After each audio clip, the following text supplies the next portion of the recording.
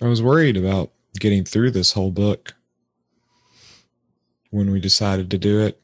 Because sometimes I'll laze about on reading a book, but I think since we have deadlines on reading it, it's actually forcing me to read. Yeah, I thought about that yesterday. which is like, oh, I can still read.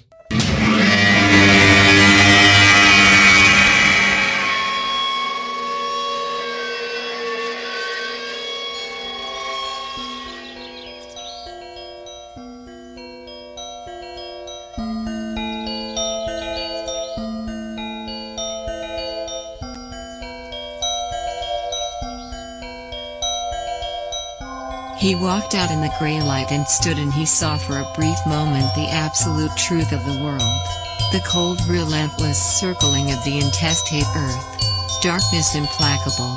The blind dogs of the sun in their running. The crushing black vacuum of the universe. And somewhere 200 animals trembling like ground foxes in their cover. Borrowed time and borrowed world and borrowed eyes with which to sorrow it.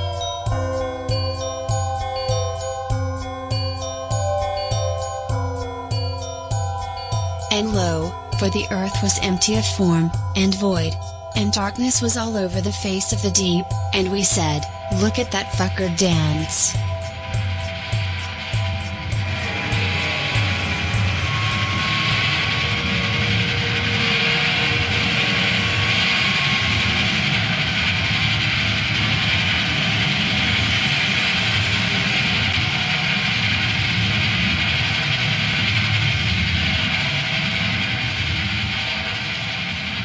So, welcome back to Heat Death of the Universe Book Club Edition, Part 2. Uh, what book are we reading? I forgot. We are we are reading The Empire of Pain, the secret history of the America's greatest wrestling family, the Sacklers.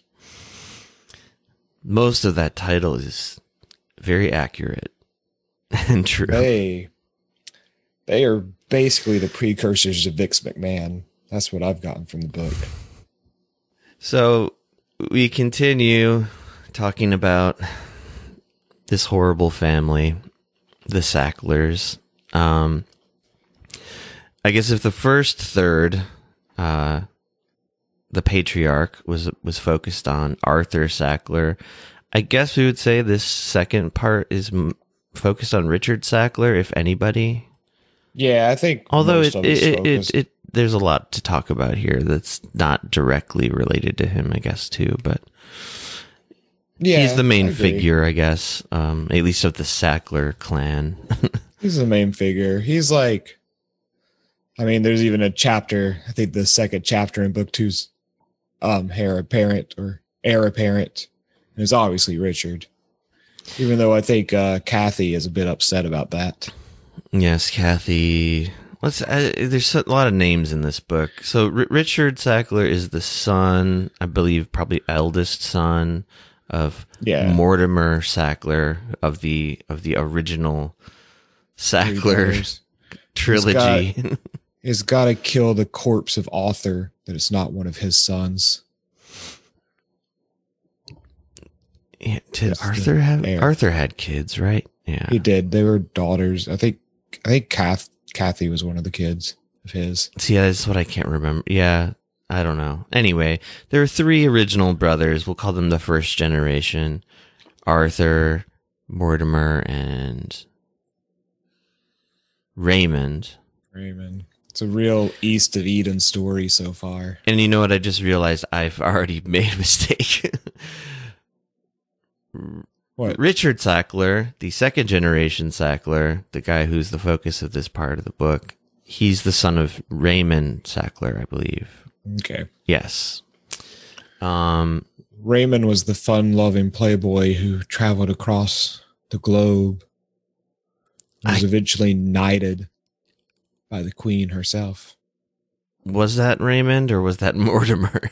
They were both knighted. I can't remember which one was and I think first. Mortimer was more of the like the traveling guy. In any case, it doesn't really fucking matter. These are all just rich people, okay? Rich assholes.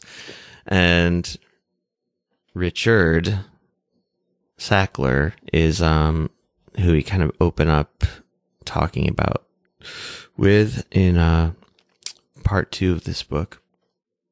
Um I don't know, in my notes here I've got like chapters 11 to 13 boiled down to like basically um describing like the the who Richard Sackler was, like his personality. He's kind of an odd guy. He seems to be an Elon Musk type. Speak on that. You know, super rich, ends up going to like a nice school, smart kid, awkward, no friends. The one friend he does make, he ends up like pissing off because like he uh doesn't understand that maybe people get weirded out when you're like paying for all their shit and kind of you know treating them with no empathy Right. deal. i just imagine that's a bit what uh elon musk was like Yeah, that makes sense.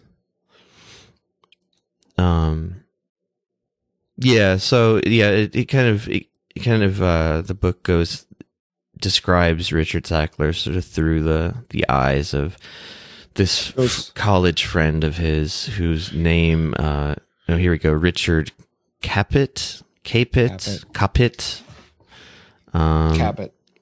Cabot. Kapit whatever.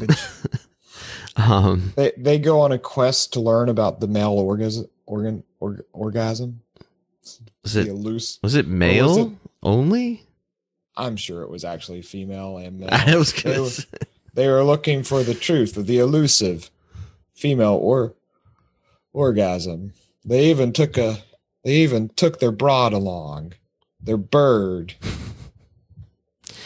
yeah, there seemed to be some like sort of love triangle tension going on there as well with um, Ri- Richard's girlfriend and then this Kapit. They're, fucking rich people See, you I'm know what? sure This is even harder- fucking each other is like threesomes This is even time. harder to talk about because they're both named fucking Richard. Um, in any case, Richard Sackler Sackler is is very detached from reality in a in the way that I guess maybe a lot of extremely wealthy heirs are. Um, like money is just, they think it's uh described in the book is like money is like air to him. You know, it has like no consequence. Sure. And um, he did. s- There was some like event that made him and this other Richard, this friend of his, um, part ways. But what was that? I can't really remember now. Uh, there was just so they lived together. They ended up being college roommates, and um, Richard Sackler suggested them be college roommates. And he was talking to Capalt and was like, "Hey, why don't we be roommates? And uh, come check out a place. I have a place in New York. We can live there together." And he takes Capalt to the place, and it's like fucking magnificent with like expensive furniture, big, like a like a mini castle basically. And Capalt's like, "Hell yeah, I want to live here. Awesome." No, I think they they Uh, just they just take the furniture back to their a- apartment. I believe. it seemed like the depart apartment was also described as pretty big for like a college living. Oh yeah, it was like in, it was his family's like property, and they just walked in. and were like, yeah, we'll take some of this, some of that. Yeah, I remember that. part. Anyways, they lived together for a while. They went on their misadventures together. They learned about sex together. Capalt was made to feel small because you know he was uh, saving his virginity for God or whatever.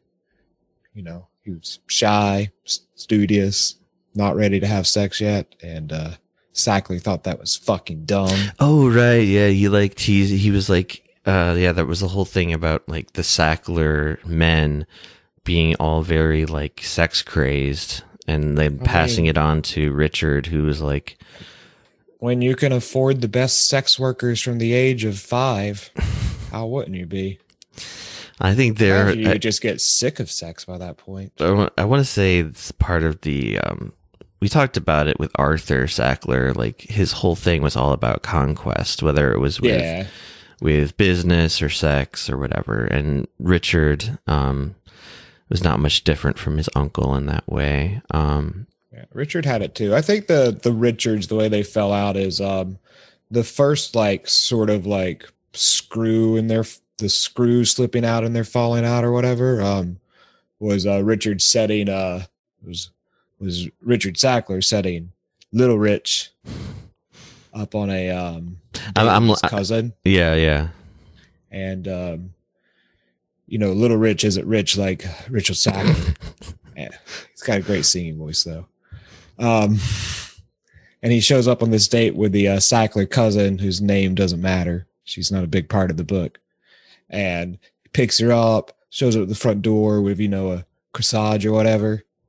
And she's like looking around. It's like, where's your car? And he points at the bus and she's like, oh, no, no, no. and turns her nose up and is like, makes fun of him. Like, a bus? Are you kidding? I'm a Sackler. And instead of Little Rich being like, you know, a man and uh, doing the manly thing and saying, like, you're fucking Sackler. Where's your car? I'll drive. He just slumps his shoulders down He was And, uh, humiliated. and walks home. And then I don't know how many months later, I think it happens months later. There's a day where there's a pile of dirty dishes at the Richard Haas home. And the two Richards are looking at him. And Capult's just sick of it. He's like, I don't fucking want to wash these dishes. And he starts screaming at Rich Sackler. He's like, You're so rich. Why don't you buy us a fucking maid? Why do I always have to be made to wash these dishes? And then Rich Sackler's like, Sure, I'll buy us a maid. And that pissed him off even more. Because it's like, oh, you just got everything. And he realized that maybe they were incompatible as people because their social classes were so uh, astronomically different. Yeah, and um, I found I found the part now here in the book too where um, after the humiliating like date event um with the cousin who is actually just not named, it just says one of his cousins, um, Cousin Sackler. cousin Sackler. Um, let's let's call him poor Richard. Poor Richard. Poor Richard. Poor Richard was humiliated, and it, quote, he felt as if Richard Sackler should have known that, uh, known that he didn't have a car, uh, and that the the bus would be a non-starter for the cousin, but it simply never occurred to him. So, like, the point is, is that poor Richard, like, gradually starts to see that rich Richard is uh, Richard Sackler has like basically like no empathy and is very he's like he says he politely puts it as like being very thoughtless. Um for such a smart guy he can be quite thoughtless something like that. Anyway we don't need to dwell on like his character too much. I mean a lot more of his character gets revealed just in the the later events I mean- of the book anyway but They were obviously a living, breathing version of the Chad meme. Richard King, sackler there was King Chad Sackler and poor Chad Richard. I mean, he's kind of a nerd too, though. Like you said, like he didn't, he or or like a social misfit. Like he didn't, like you said, he didn't really have friends. He didn't empathize with people. He didn't need friends. He knew he was better than everyone else. Yeah, he was And- really into being like a self-important intellectual, and like that's and all he cared about was fucking. Yeah, a a fuck crazy self-important intellectual. Much like he's like more seems more similar to Arthur. Maybe maybe there was some like uh some some weird thing where like uh, Hmm. Arthur didn't want to take responsibility for the, the would kid. you be surprised if Arthur had had sex with all his brothers' wives? no, I guess not. So yeah, maybe his real dad was Arthur. We're really getting to the bottom of something here. Yeah, that's their book. We're going to write the secret love life of Arthur Sackler and get sued to oblivion by the Sackler family for defamation. I hope so. Got to get our name on the map somehow. Um, so I think that basically, and then yes, they do this. They also did this weird, like, I don't even think you call it a study. I actually found it the part, the part of this book kind of boring, surprisingly Yeah, I mean- boring, where they're like, it because it was just it was just nonsense. It was just like you didn't like the humanizing of uh, Richard Sackler? I don't know if it did humanize him. It just made him seem like a fucking idiot, actually. like, anyway, they, Uh. they, they were like, we're going to figure out like the physiology of the orgasm or, or something like that. And like, they didn't figure anything out. They didn't do any studies. They're not scientists either. Like, they're just, they were just like college students dicking around and like talking to other scientists. Like, Yeah, I mean or the talking other to big scientists, not other scientists. the other big part of the first section is uh the death of Arthur does happen in this section, and there's the big inheritance war among the family, and there's like a ton of fallout with like the three wives or the two wives because uh, is just like gone by that point, but Jillian and uh Elsa and uh all the family hates uh Jillian because she's like the same age as Arthur's kids. And there's like the one funny moment where I, I think it was Calf Sackler's like, the Ming bed's mine. Ming bed that belongs to me. And then like her reasoning for why the Ming bed belongs to her is because she had took a boy there when she was 14 Yeah. And devoured him like a black widow does its mate. um, yeah, Cat, Kath, Kathy, Kath, Kathy, um, Kathy spelled in a way I've never seen Kathy spelled before. Um, yeah, that, I mean, I really like this second section. I would, I'll say right now, I like it a lot more than the first section, but the, the, uh, the chapter on the inheritance stuff, I, it kind of made my eyes glaze over after a little bit Yeah. because I think the inheritance stuff's mainly there to introduce us to Richard and Kathy, actually, who I think are the two like biggest Sackler names for different reasons. yeah, they have the kind rest of, of it. they have kind of their own like rivalry and stuff as well. I mean, I guess what it what it shows obviously is that this family, as much as they kind of do stick together, they will throw each other under the bus um, really easily. Because I, I mean, I don't want to even go into the details of it, but the whole chapter on the inheritance thing was just like alliances and betrayals left and right. It was just like, oh god, this is fucking Yeah. annoying. Imagine had the uh, original four musketeers, the Sackler three, and their friend. I don't remember who the fourth guy was. Ibanez, I think. Um, had they just um, went with their original plan and let all of their money disperse into the Commonwealth and left their children with like a million dollars each. All this that would have been commie nonsense. It would have been. So what happens in the second half? I see the God of Dreams enters. It's kind of cool that they went on a fantasy direction like that. What? oh, oh, actually, um, I wanted to read from that chapter. That's chapter fourteen, right? Yeah. Um, the ticking clock. Yeah. Or 15 is the God of Dreams. That's the one about opium. okay. So, actually, sorry, I didn't. Uh, wait, no, no, I said eleven to thirteen. So yeah, so chapter fourteen, ticking clock. That's important. Um, it um, it the ticking clock refers to the patent process, and um, I marked that I wanted to just read something from there, but fuck, yeah, we talked about that a bit in the in the last episode.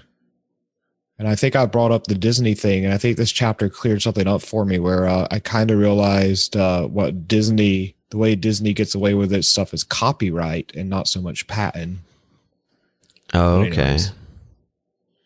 I'm not a lawyer, and I'm not 100% sure how all that stuff works. You're going to talk about M. Cotton's patent running out in 1997, and they have to. M. Cotton, better known as Purple Poppers, Canadia's drug of choice in the 90s. M- MS, MS, morphine MS sulfate. I always just preferred the pure morphine kind. I don't like the sulfate part. Too sulfatey. I guess yes. The whole point is that they're racing against the clock to find a new drug, um, because they ha- they have this drug that is a time release morphine pill, MS Contin, and its its patent is going to run out in ninety seven. You said or ninety six. Ninety seven. Okay. 97. And um, it talks about how much Arthur Sackler hated like the whole concept of generic generic medicines. Um, sure. Eats into his money. Yeah, he he would have definitely been a um, keep the vaccines privatized guy if he were around today. Um, Uh, all the pharmaceuticals they're doing this that's why they do it they don't want to lose out on money Yeah. Yeah. And then so the, the and then the, they have the what they call the patent cliff, which is just when your patent runs out and all the uh, competing generics come in, you see your sales just drop like a cliff. And um, I I also I just I I had a thought of like, and I think I don't know if we talked about this last time, but I think it's just amazing in in American society the way that it is these days with dominance of corporations. It's amazing that like pharma, like big pharma lobbying hasn't secured like infinite patents or, or at least longer ones than 20 years. Like I'm just, I'm just so, I'm just honestly shocked that they haven't, I mean, they've maybe tried think- and failed, or maybe it's ultimately not even So what they I might be wrong about this, but um, I think they've tried before. I think they've constantly failed on this. What they are allowed to do is keep near infinite copyright. So like they can always sell the drug under the name MS Contin, but after a certain period of time, other people are allowed to use the patent because that's part of how the patent systems work. Just so they can keep advancing stuff. yeah, but that's what just eats into their profits. That's, and that's all they care about, really. But I imagine this is something I'd have to look up. But one of the big things that I hate about the tech industry, and I don't know how much you about know about this, is like patent mills in the tech industry, where a company like IBM or Microsoft goes out and basically patents ideals of things they haven't made yet, just so that when someone does make it, they can say, "Oh wait, we have the patent for that." So even though you made it and did all the legwork, we actually own it. Yeah, you can just like patent a concept. So I do imagine these drug companies do the same thing. Well, yeah, and what they do is they just like they in the lab they just like move, move molecules around to like slightly change a substance so then it's technically different even though it basically has the same effect. And then they can say oh we get a new patent for this. No, and yeah there's there, I there's a whole lot of problems with like um just the the patenting system i guess. Like patenting like life forms like organic life forms and like um genetically engineered yeah life is is patentable now basically not um not to be all tech bro because generally I'm not a big big fan of them. Though I do kind of agree with the whole correlation of like you know open source, right? Like open source software where Sure. um where it's all shared software and the big deal with it is um it's made under the open source uh, license and that means that if you create it you have to share all the code for it and other people can build on top of it or even fork off of it to make their own project. I often think that um if we use that system for everything instead of the patent system, the world would be a lot better off. well yeah i mean like that's that's kind of the uh the socialist ideal i guess to put it bluntly isn't it i mean It is to some degree. um Share your work. sh- sharing it's just it's, It's share share your goddamn work. Imagine where we would get with these fuck. I bet we would have got the vaccines out much quicker if each of these companies had. Well, I guess they were sharing their work. Mm, sort of They were sharing their work among the three companies who were like, as long as we get these out first, the government's giving us a lot of money to get this uh, vaccine made as quick as possible. Yeah, the sharing stopped there though, in a way. But um that's another thing. I know, I know. if I go off onto that direction, we'll never come back. Um so actually this chapter 14 had has a lot more than just the stuff about the patent uh cliff and the uh, ticking ticking Yeah, clock. It was um it was actually kind of crazy even in this first page to hear about how they um how they would do the negative articles on like generics like they had that conspiracy walled on weak generic describing how all hell broke loose at that like veterans hospital yeah, that's the part I wanted It's to read actually, and I'm glad you found it because I just making can't find it. up Yeah, yeah, like uh, Arthur Sackler doing um just uh yeah, it it, it was so oh, about Thorazine. So like uh he Arthur Sackler shit, we can't escape the old man. Um but anyway, Arthur Sackler back in the day before even before he made all his money with Valium and Librium, he was making he was marketing Thorazine for Pfizer, um, which is like a really powerful tranquilizer, like an antipsychotic.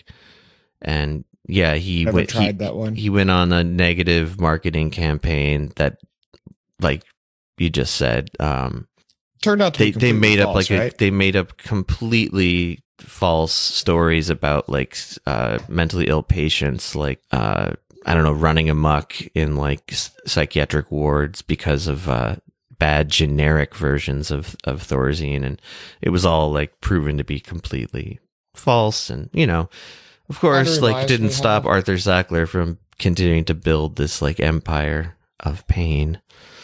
Um, yeah, I mean, obviously they're not going to do this again, though. They wouldn't continue to lie and get away with it. History repeats itself so much with Richard Sackler and Arthur Sackler. Um, I mean, Arthur like created the playbook, as far as I can tell.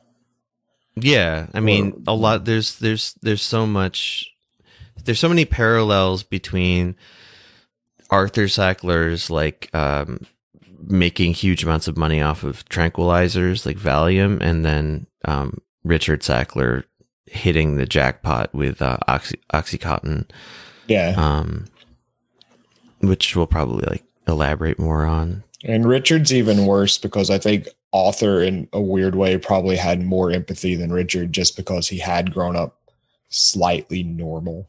Yeah, he grew, well, he grew up poor. Like he actually, yeah. I mean, he was still like an awful person, and that's something we um slid over. But there was some really creepy detail about Arthur Sackler and his daughter. Um, Oh yeah, I now I When can't even like- remember exactly what it was, but they were at some like gala event. I don't fucking know. I just want to call it a gala event. And uh all I'm of his friends were like now. going up to him and he's like introducing her as his daughter, and his friends are like, Haha, sure, sure thing, your daughter. That's what you're calling her. and then he said that he stopped correcting them and just enjoyed the fantasy or something like that. It made me think of Trump and Ivanka, Ivanka so much. Yeah, I guess that's In my head, that was like the thought because I just always imagine that's how Trump treats Ivanka. I mean, Trump did uh, say lots of weird shit publicly about his daughter. Yeah. But anyway, I mean, that's fucked up. But uh, I just brought that up because Arthur uh, Arthur Sackler is still a bad person, even if he maybe if I, mean, don't know. It's like it's just like old money versus new money. Like who, who His- who's what what makes for a worse person, and it's probably old money. His wives seem to be cool with the fact. I mean, Arthur's wives seem to be cool with the fact that he cheated on all of them. Um, but That's kind of a typical like rich people thing. I feel like just though. cool because they had a shit ton of money. That's what I'm saying. I think how that's like a be cool. a typical like ultra rich We'll like be fine. scenario.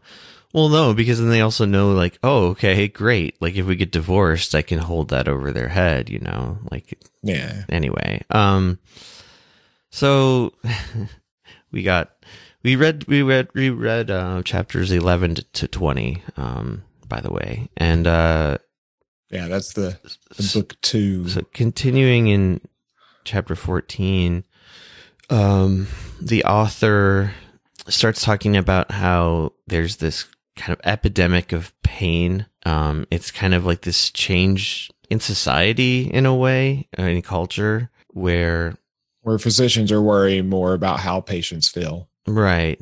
And this is this is talked about really interesting way in the documentary, which I'll just remind everybody again.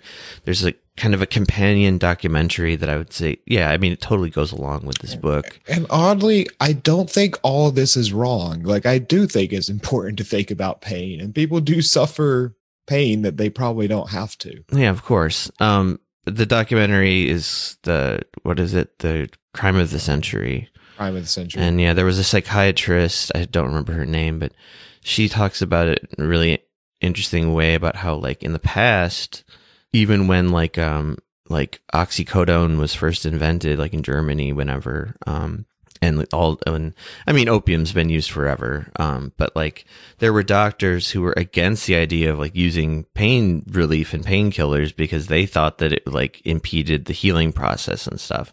Which I don't agree with that either. That's like the other extreme. I don't but- agree with it, but, but- there are times in my head that I'm like, you know, people should just accept suffering a little more. But that could just be my my shitty upbringing.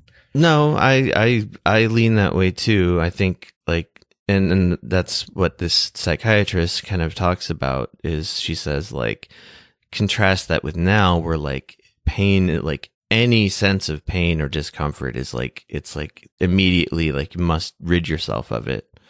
Um, which I mean, I'm not trying to say I'm not that way. I'm totally that way. like I don't want to Sure. be uncomfortable. Like you know, um, but it humans haven't always been this way. I guess is what I'm Sure. I, I see people in like, you know, full on suits in the hot, humid Korean summer occasionally. I'm like, holy shit. That's Do your they not- first thought of Do they not care at all about being comfortable? enduring I- pain. As as I walk around in my in my short shorts, and my short t shirt, belly button out, thinking, ah, Daisy. Dukes on the way to teach class. yeah. Um but like this is obviously important to to the overall story of of of oxycontin and and the opioid epidemic is like what starts off with good intentions like yes like you said doctors wa- wanting to focus on like pain relief pain management and stuff um it turns into this profit seeking basically like the profit motive like distorts this this kind of like real concern and like these laudable like goals and like warps them. And then and then it becomes not really about pain management at all. I mean it just becomes about like hooking people and like take extracting as much um profit as possible. Um so in response to this this like movement of of of pain treatment this is when so so we still haven't really gotten to oxycontin yet. So this is the invention of ms contin which is the morphine pill Yep. um that has the the revolutionary slow release um technology which is just like a coating that goes over the pill that like dissolves slower. So like it releases the drug slowly into your body What they put on my fucking Adderall to ruin it. yeah they see the you know i thought about this so like um of course these pills start to be abused and uh, people get addicted to them as well because it's fucking morphine it's a powerful opiate um opioid opiate what's the difference anyway um is opioid is the synthetic I thought they were the same thing, just like different ways of saying it. I could be wrong. I, I, I don't know, but I mean, I guess they're all sort of synthetic. They're all processed. Anyway, the uh, like people who want to get high off these drugs figure out a way. Like, so they were called what purple peelers in Canada Oh yeah, I said purple poppers earlier, but yeah, purple peelers because they they, had to were Peel purple. the and- purple like time release part off before they Yeah, melted it you could down just peel- it up. peel it off and then yeah like crush the pill and shoot it or snort it or whatever and um it did remind me of angrily emptying out a pill of time release adderall um Well, the problem with time release Adderall, you get in there and then each of the little capsules in there are also. well, that's what. I'm. That's what I'm getting at. Is I remember trying to crush those once and being furious they wouldn't be crushed. So I'm saying that technology really worked. I don't think there's any way to get around that. Yeah, So I'm saying what I'm getting at is like oxy uh oxycontin could have the same kind of technology if they really if they really cared about that. I imagine it is the same It- technology. it's now. not though. It's not because It's you not. you can't peel you you can like That's true. people can they said that people can like lick off the coating or like peel or peel it it was being peeled off of these morphine pills and i assume it's the and i i'm pretty sure it's the same exact time release technology on the oxycontin it is. So so they say in the book it is. and i mean there it, it there wouldn't be the epidemic the way that it is if you if you couldn't easily get around that because you couldn't shoot it then There might still be though. I mean, it's not in ticking clock, but some people think that a lot of the addiction problems actually come from the uh the fact that oxycontin th- this will be brought up later, but the fact that oxycontin was marketed as a 12-hour drug as it should have effects for 12 hours, but um study after study, patient after patient would find that the effects actually wear off after 8 hours, which gives them a valley um where they have enough time to experience withdrawal syndromes, which often made them want to take more than the two pills a day that they were prescribed. so then their doctors would start prescribing them three a day Well, that- that was actually the doctors who did that probably helped their patients. What a lot of doctors would do, they'd be like, "Oh no, don't take three a day. What you need is a higher two day dose." And uh, oh, right. And Purdue wanted that because, well, they won't admit it, but they knew they knew that they should be prescribing it as a three day day pill. They'd actually like. There's been studies done. It would have been less addictive had they just done three smaller doses during the day because of Mhm. the way the timing worked. But having the 12 hour window give the patient enough time to actually feel withdrawal symptoms every day, which makes you more likely to want to go and do more and more because you're trying to self correct. And the heavier, like the higher concentrated dose, doesn't necessarily last longer. It just gets you Yeah, it's higher. gonna wear off. Yeah, it just wears off at the same rate. Yeah, you're you, so you're just getting after eight hours. you're getting you're getting the buzz, the uh, the buzz. I mean, that's putting it lightly, but like that's the way that these the sales reps would talk about OxyContin is like it's buzz free. Like people don't get high off this stuff. It's like you're selling fucking pure heroin. Like that's Yeah. what, that's what people keep forgetting is like no no no not I'm sorry not pure no, they're heroin. selling strong heroin. It's twi- what is it twice as strong as heroin is I forget exactly what it, what the numbers were now, but I like to think of it as weaker than fentanyl.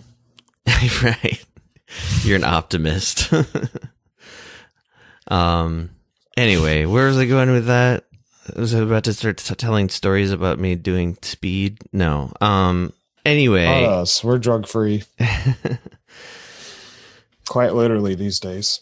I mean, I'll just I'll just say like I've done OxyContin a couple of times, maybe twice, and I just don't. I didn't like it. I really didn't like painkillers in general. Yeah, they were never for me. I don't like the uh I've also I've tried just about everything. I also did not the one time I did it, was it for me.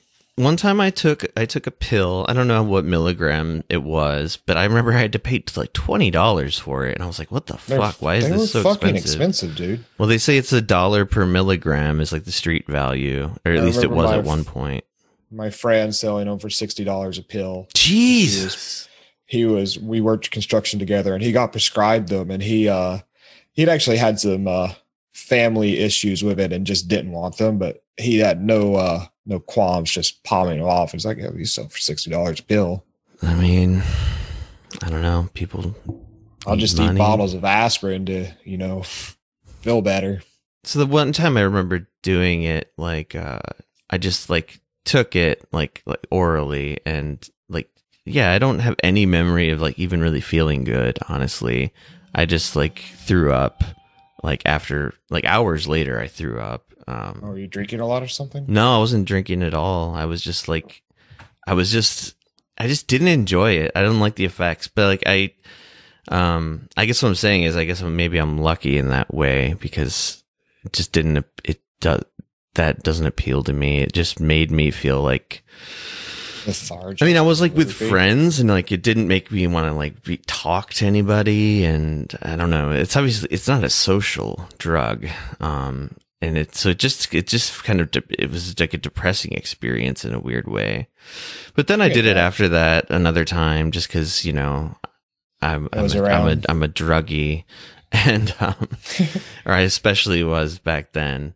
And I did it with like a friend in college and we were just like snorting it. Even though the guy who sold us the pills was like explicitly like, don't crush this, don't snort it. And we are like, yeah, whatever, man. And, uh, that I also remember having zero fun at all. It was just like, just sitting, sitting on a couch, like with like a blank head. But, um, that's what some people want though I guess. I mean, I, I, I get the appeal of like wanting to like get out of your mind, but like, I don't know. I never, I never got that like sort of like that body rush or whatever that people talk about with these drugs either. But I think that's for, all for the best. Um, yeah i do too i mean yeah I, I don't they're not for me either from my my experiences and I- they probably I shouldn't be for most people. From I prefer old fashioned drugs like LSD because I do like to get out of my head. I mean, that is old fashioned compared to oxycodone. Wait, no, it's not. Oxycodone's first, but not OxyContin. Yes. with its specific patent. Okay. Um so some things that we'll see that happened with OxyContin happened with MS Contin as well. Like they, their whole thing was they wanted to get around the limits of like, this is only a cancer drug or this is a drug for end of life. Which they had a hard time doing with MS Contin. I don't Because think of they the word ever morphine. successfully did it. Yeah.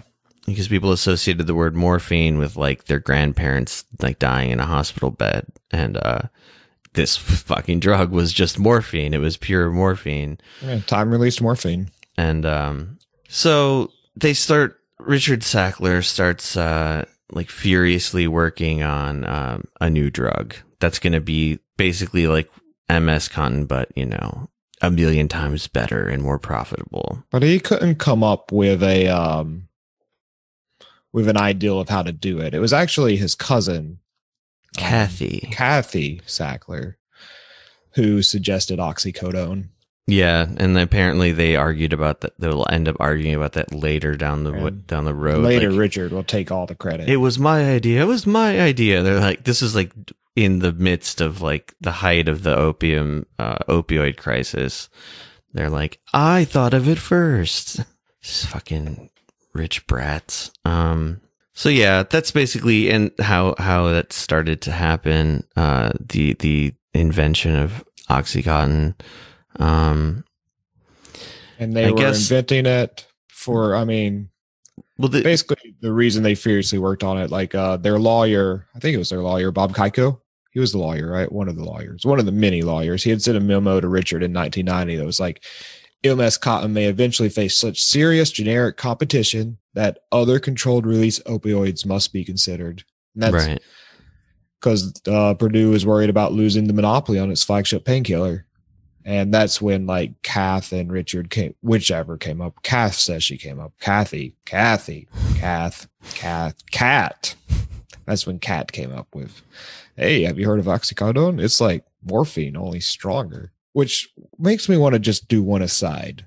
All these doctors are fucking terrified of prescribing MS uh Contin, the morphine one, for, you know, pain outside of like cancer or like before death pain. hmm And they're doctors. They're they're motherfucking doctors. They must know that okay, codeine is just stronger morphine, but somehow they let themselves be convinced. You mean oxycodone, right? Yeah, oxycodone. Okay.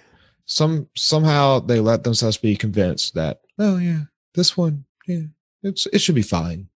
Even though the other one that we were scared of. yeah that's that's that's an interesting part that we're yeah that's where we are in the book um like they did um there was some sort of study or you, you know like um poll or whatever done and like they found that most doctors for whatever reason in their mind considered oxycodone to be weaker than morphine even though it's so much So, stronger like a lot stronger here personally, I think in even with like I've never had problems with uh oxycodone or oxycontin, but I've had family members who have, and it's it's affected my life negatively. But I think for a long time I didn't realize it. I didn't realize that uh morph I used for a long time I thought morphine was the strongest of strong because I do think it has that reputation just from like film and books and other stuff that I've read and grown up with. Well, yeah, because you you think about like people shooting up, like back in the day. You think of people on the street like doing heroin, and then OxyContin. Oh, that's a pill in a bottle from a guy in a white coat. Like, yeah, I Yeah. mean, I, I had that same misinformed idea in my mind too for some reason. Even like, at, even though like it's not like I was thinking about those drugs all the time, but just like if someone would have asked me which do you think is like stronger, I would have definitely had the same. But the thing is, we weren't doctors. we weren't even like we weren't even adults yet, really. Um, so like I mean, this is this is gonna bring up like the whole thing about like how easily these doctors are either duped or are just like complicit in in um lying to their patients and killing their patients basically um but yeah it kind of boggles my mind that the doctors don't understand that it's it's not like oxycodone was a new drug oxycodone had been synthesized in like the 1800s by some german chemist like Yeah. you'd think they would know I think they did well. But they but they said like they just said like their impression or whatever. They were like it's oh yeah it's weaker than morphine. I do Um, think that the the FDA putting approval on it. but this is before that, by the That's way. true. This is before OxyContin is even in existence yet. This because this is this is when they're getting close to releasing it, but like this is when they're still doing all the the research and development and stuff. And um, so the the important part was is that Purdue Pharma, the the company, the Sackler company that makes these drugs, um, just to reiterate, they find out that oh, doctors have this misapprehension, and there's emails showing the internal emails of them saying, "Well, here's what we do." We run with that. We don't. We're not going to try to correct that. Basically, we're going to use their ignorance to our advantage, and and tell them, yeah, yeah, it's it's it's non-abusable. It's non-addictive. Only well, only one percent of people can get addicted to it. But basically, it's like you know, there's no limit on how much you can even take, which is the most insane thing. They literally said that in like the official like pamphlets and literature and stuff. It's like there's no limit, really. Like that's just saying like overdose is impossible. Like what do you mean? It's um it's completely insane. And so like the big push with Oxycontin, so they they're simultaneously trying to do two things. They're trying to get FDA approval at like rapid speed. Um like usually it takes I don't know how many years to like Four fro- or five. like four or five years after you submit to the FDA to get your drug approved. It took them 11 months, I believe.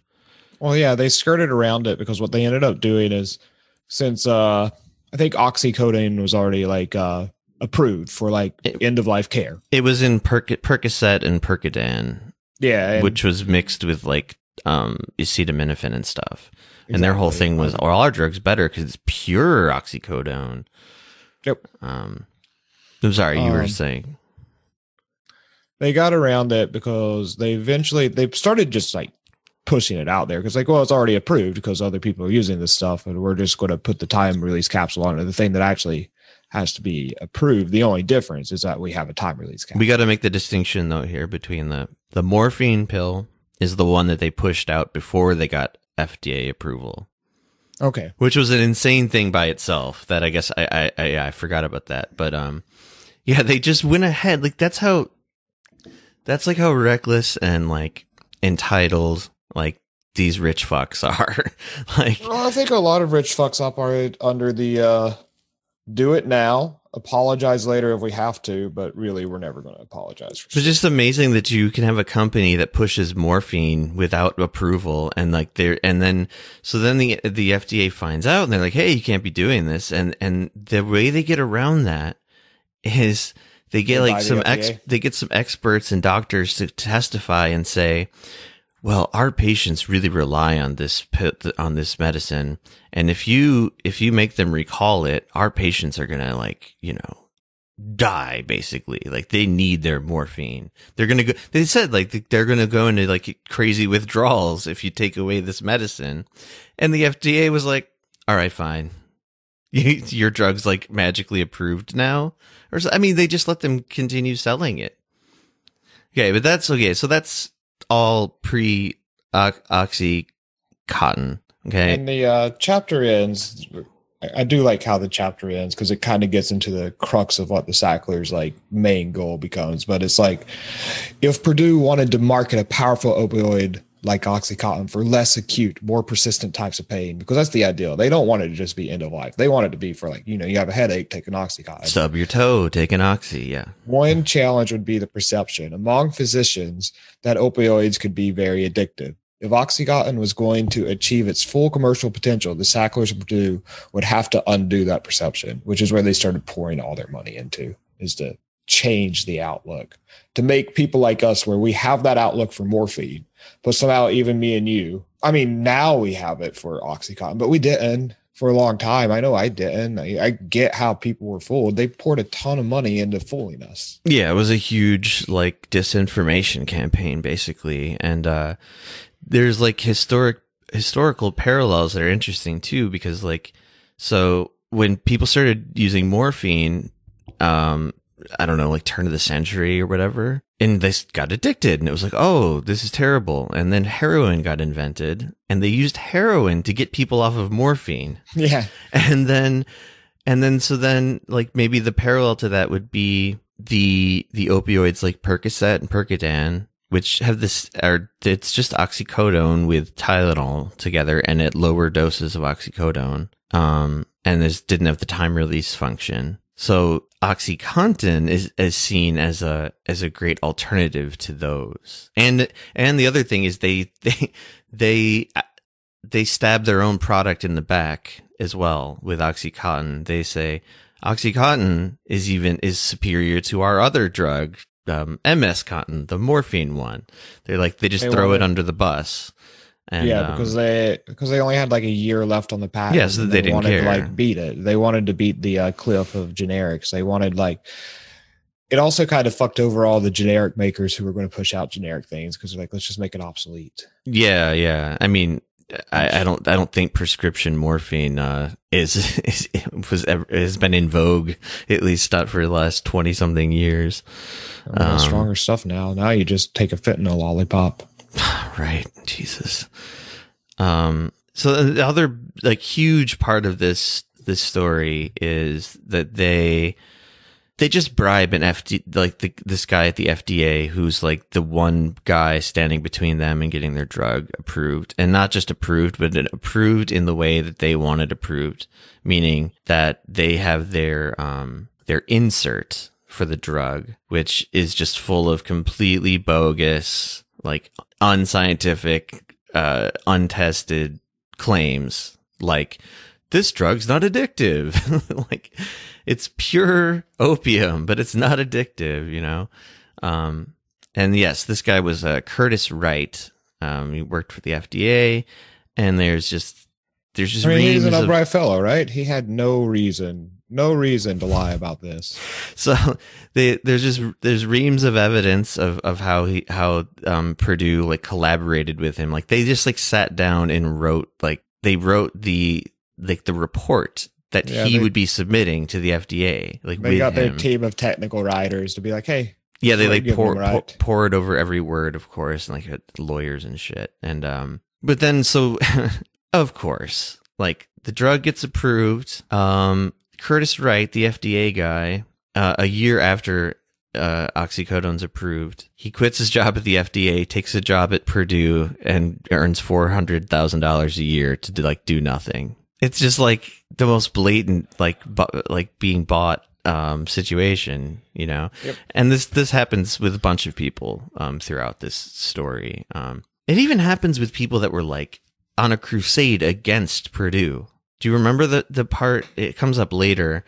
There was a guy. There, he was like maybe the district attorney in Maine, I think, or he was like he was either an attorney or a politician. I can't remember in Maine because like there was like a a big like um explosion of like uh opioid use in Maine, and um he wrote this like really damning like letter that he sent it out to like I don't know thousands and thousands of doctors in the state, like just warning them about this about oxycodone or sorry oxy, Yeah. oxycontin, and that same guy, like a little while after that, ends up getting a job at Purdue and Yeah, that was- defending them in court.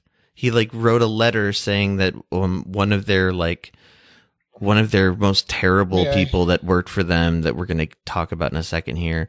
Oh, he's a great he's a great man. He doesn't deserve to be in any trouble. he he referred to oxycontin as like a plague of locust or whatever um just or the black plague like it was like america's plague and then purdue got poached them because that's what they did one of their biggest tactics was to poach the pe- their biggest criticizers because like if you can't beat them um Poach them pay them off yeah. give them a lot of money Like put them on your team Yeah, yeah, and this this that happened a lot. Um, then the next chap, the next chapter was pretty harrowing. It's like a little shorter, but it's like it's Oh, about this I- explosion. oh okay we're just finishing up god of dreams then um Yeah, I mean, I think it, it it ends just with like the drug gets approved, and it it mentions like Curtis Wright getting that that job at Purdue. I think. I mean, I think that, that I mean, I'm just Yeah, looking at my right. notes here, but The H bomb. yeah, chapter 16, the H bomb. Um, This chapter is fucking crazy. yeah, it's re- Which it's really well written also because it doesn't re- it it it doesn't re- really reveal what's going on like up front, which is in- interesting. Um, which is something that maybe we should bring up because I don't think we brought it up, but um in the ticking clock chapter they mention a company Napp and that's a company that uh a chemical company that um I think Purdue had just like literally bought or they were a giant stakeholder in, but they were making most of the medicines for Purdue. Napp This was this- N A P P Napp? Yeah. Okay, yeah, This is uh this That's- is about that- Napp that- facilities. that's what this place is. Okay, right. Okay. yeah. So like the chapter opens like from the perspective of this particular individual, um, Calixto. I'm not really sure. Calixto. I think that's um, right. And I mean, it's just, it's heartbreaking. I mean, it just talks about how he wakes up and he's been like working like overtime like crazy at this chemical plant that he works at. And I think Yeah, because he has a three month old son. He's trying to get think he tried- for his he- new son. he tries to call in sick and like they just convince him to come in anyway. They're like, just one more eight hour shift and then you, you're off for two weeks. Ah, it's terrible. And, um, like to just jump to what happens really, like there's just this big fuck up be, because like this, this, uh, this chemical plant factory, whatever, um, they mix chemicals. Um, and What makes this uh this chemical company different than say uh Eastman or DuPont, the two big the two big chemical companies? Well, uh, I mean, I don't really know about those guys, their hiring practices, but like this place, like basically hired like um, undocumented immigrants and stuff, and would like just pay them poorly and um, Matter they'd hire people that were fired from other jobs. Right. They were known as the place to go if you couldn't get a job anywhere else in that kind of field, like if you had fucked up too badly somewhere else. And like they just didn't they just cut basically it's it's a classic thing of like a corporation cutting corners and and and maximizing profit at all costs and it leads to literally blowing up the entire factory. Um and this poor guy and a few other people um died. And it was like this just this massive um massive explosion that like polluted the river near it. Um i'll just read a little bit from it here. For days the plant smoked. Homes were damaged. A toxic green runoff oozed out of the devastated facility. It trickled down main street and drained into the saddle river. The pollution fed into the passaic river sickening waterfowl Thousands of fish went belly up and drifted to shore, lining the riverbank pale and dead. A federal investigation would eventually cite Napp for a bevy of safety violations and issue a conspicuously modest fine of $127,000. That's so low. Can I talk a bit about Calixto? So the day that um it is low, and I also want to get back to that, but the day that he gets, you know, when he's trying to call in, but he gets convinced to just go on to work. He gets to work, and uh, the night the night before his shift starts, he's like working morning shift. That um the smell had started in the plant, and the the foreman, the managers, like, it's no big deal, just ignore it. But as the uh, night went on, the smell got worse and worse. Uh, some water had leaked into these like chemicals, and like some of these chemicals, you're never supposed to get water near them, or just like bad shit's gonna happen. Yeah, like a drop man- of water can like just Yeah. create like a massive fireball. Yeah. all the managers like it's fine don't worry about it and everyone i mean the people there aren't really trained they're like eh, okay, Managers probably weren't trained either. yeah that that's the sense i got. Yeah.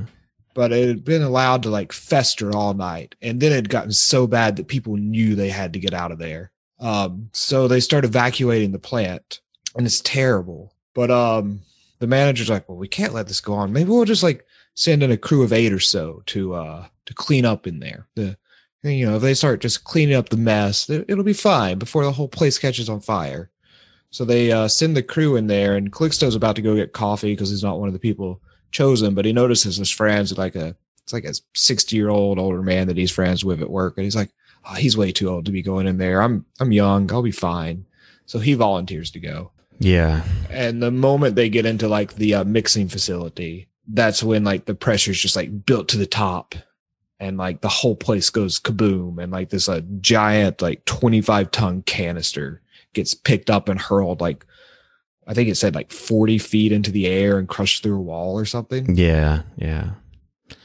And he was uh, killed instantly because the force was so strong that it just, I mean, Like, it crushed his, him, it right? crushed Yeah, his crushed skull. him. yeah and um, there was one guy who survived for the for the time for like a little bit, but was like Mm. ninety percent of his body was burned, and then he died. At, uh, you know, soon after that. that's anyway. even worse i'm sure that's a much worse fate than Yeah. just dying instantly for Um, better or worse. Um, oh, it's it's fucking horrible. They had like a fire department right beside them, but like uh now, much like the rest of Purdue and the Sacklers, like to keep everything uh off the record, so they like tried to keep it in house to fix everything instead of calling the fire department. Um, well, because so they I- knew there was probably like t- a million safety violations going on. I know a little bit about chemical plants just because like where I grew up in uh the Tri Cities, Kingsport, Bristol area. Uh Eastman's there, and Eastman's the world's second largest chemical company. Just one something I grew up knowing, but uh, my dad worked there forever. And like it's real common for these chemical plants to like be super anal about safety stuff.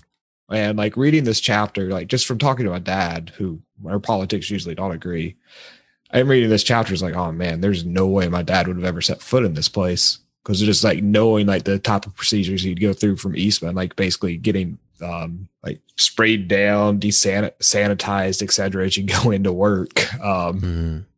and I had a feeling this place isn't doing it. Like Eastman at all times has like the fire department on call. I think they have like a special unit of the like town fire department that and their own private one that comes in for any type of mess like this. Because like I think that's how these type of places have to be ran because they're super dangerous. And this chapter just gives you the general sense that they do not care at all about any of these precautions. Yeah, this is, I mean, the way this fits into the larger story, we haven't quite said explicitly yet, but like, um, I just wanted to, to tack on that they got the uh, very modest fine.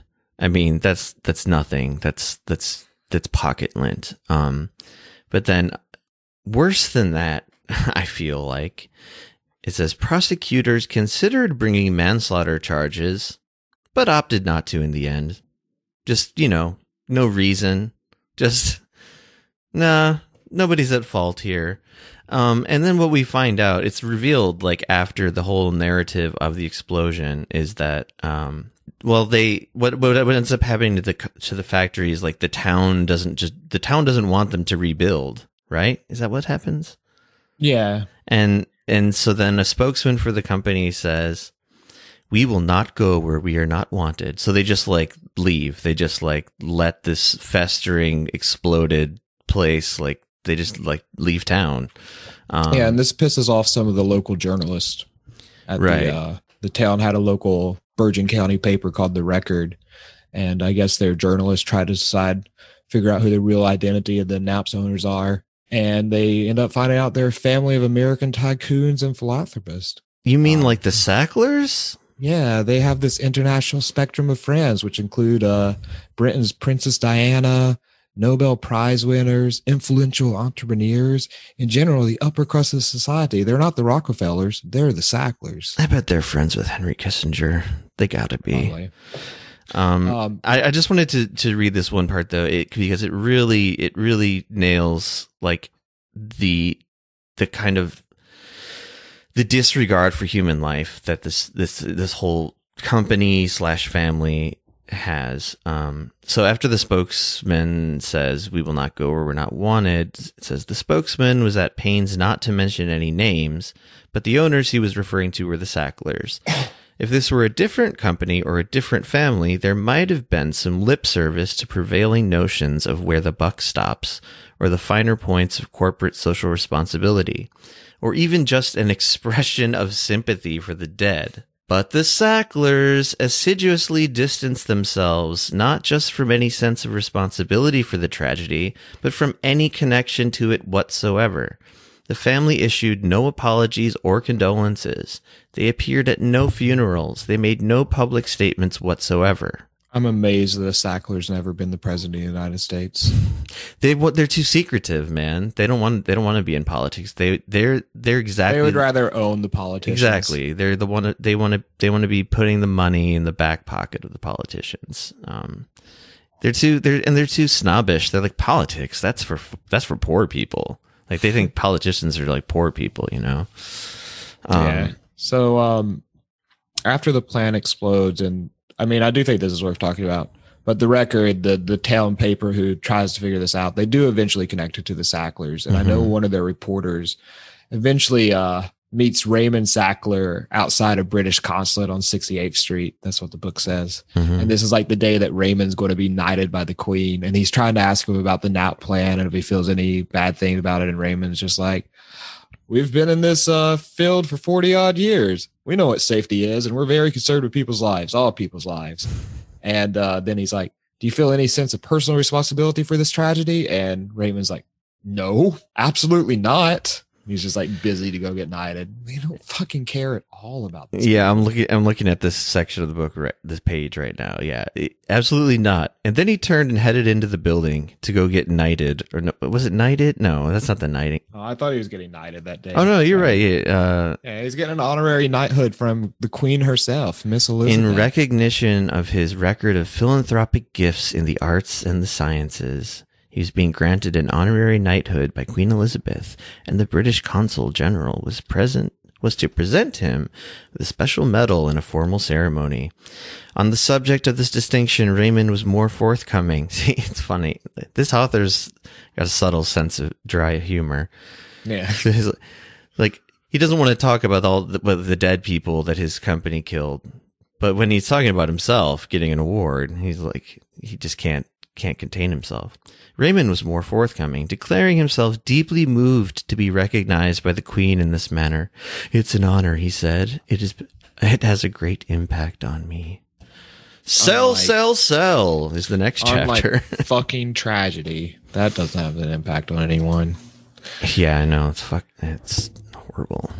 Um, sell, sell, sell. Um, this is where this is where OxyContin re- takes off. So this is 1996. I feel Uh, like this really parallels well with the documentary we keep bringing up, Empire of Pain. I It- even think this like brings up some of the exact same like people that interviewed in Empire. It does. or sorry, Crime of Century. It does. Um, I said the documentary Empire of Pain, but I meant the documentary Crime of Century. Yeah, going back and watching it again after reading um, the book. I mean, I haven't read the last third yet, but yeah, they it's it's interesting to like oh, it's like I oh I get it now. Like it like the names are familiar, and then you can like put a face to these Yeah. people. Yeah, like, once I finish, I plan to watch the documentary all over again.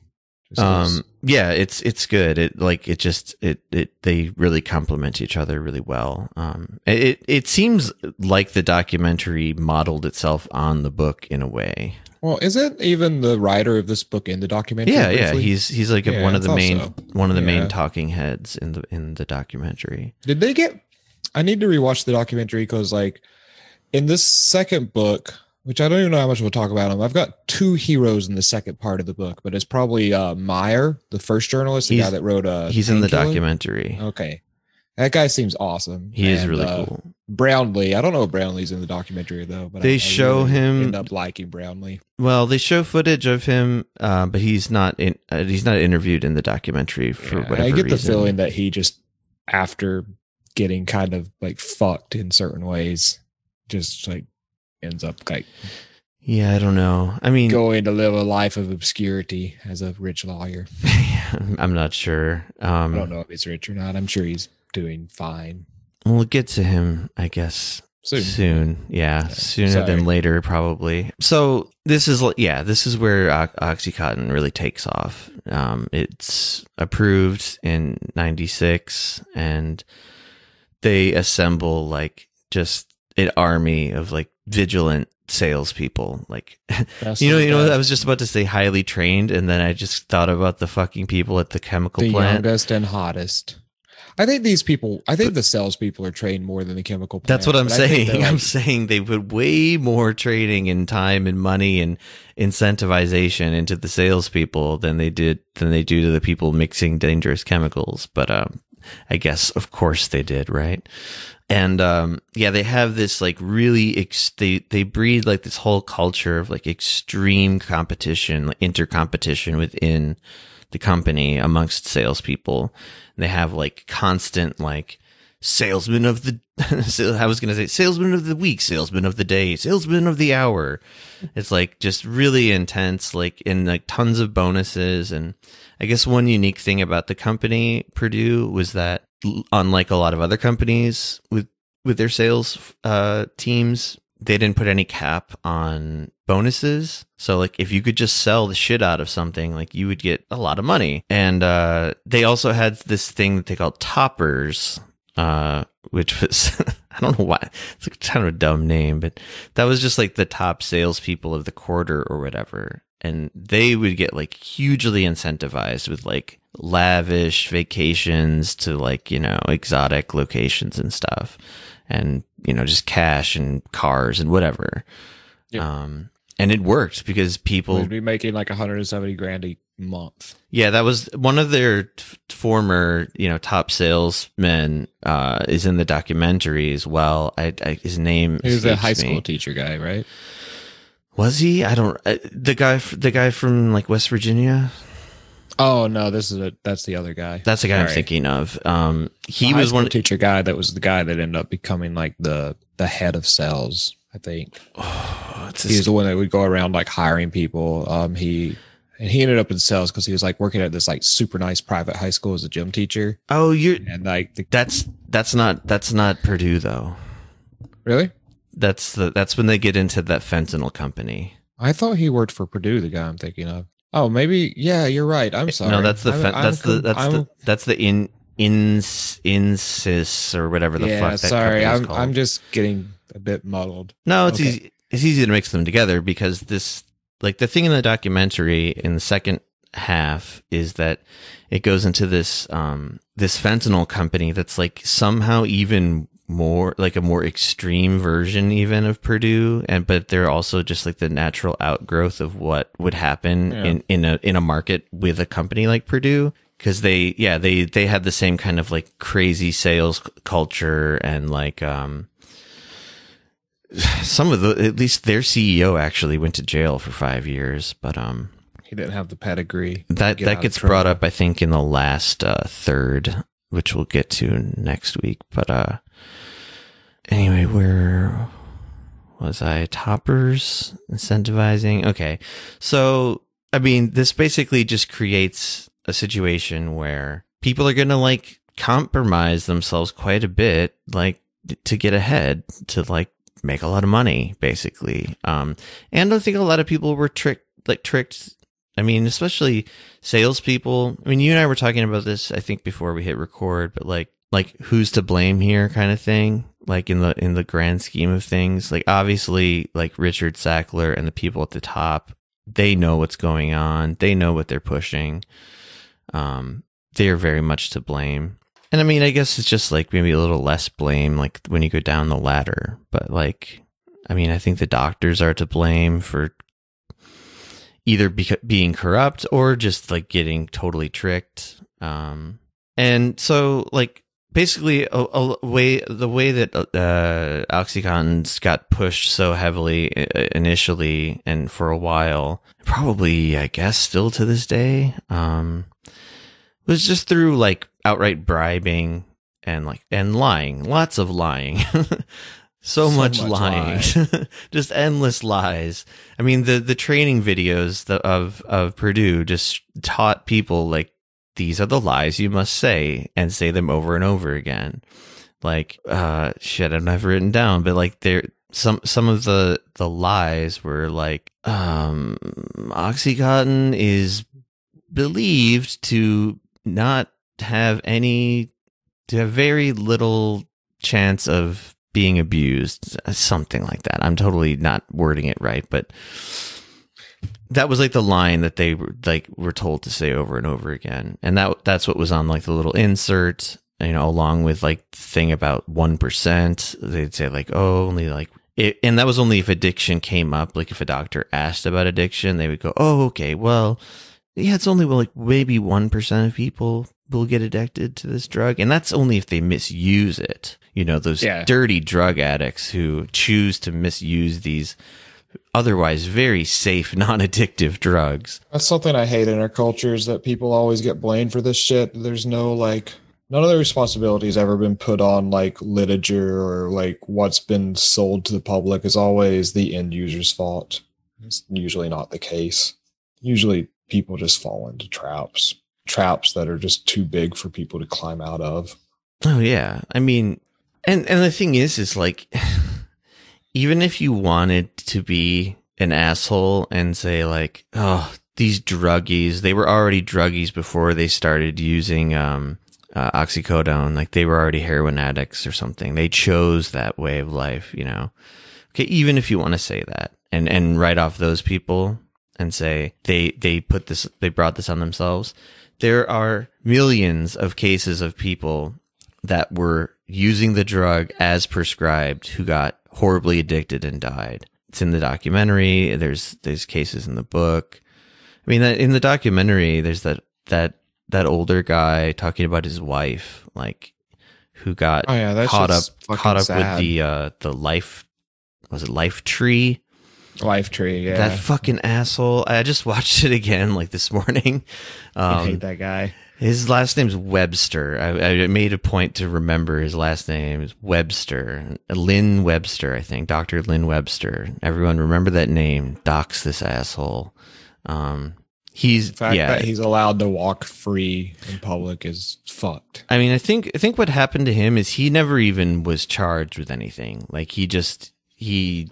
Uh, anyway, the the reason I brought that up was just like um, the example in in the in the movie of of kind of a I don't know like a normie person who got like terribly hooked on these drugs. Like the the the huge amount of of drugs, not just oxycodone too, but it was like just this l- massive list and like huge amounts of everything that this evil doctor had her on for some reason. The worst part was is she she got off of everything Yep. Um because and like you know this is pre you know smartphones whatever but like the, her husband was take had to take pictures of her like nodded off like in weird places around the house because she didn't believe it and when she saw them she's like oh shit this is a problem so she you know it's probably pretty painful getting off all those uh, opiates and I'm sure um, it was.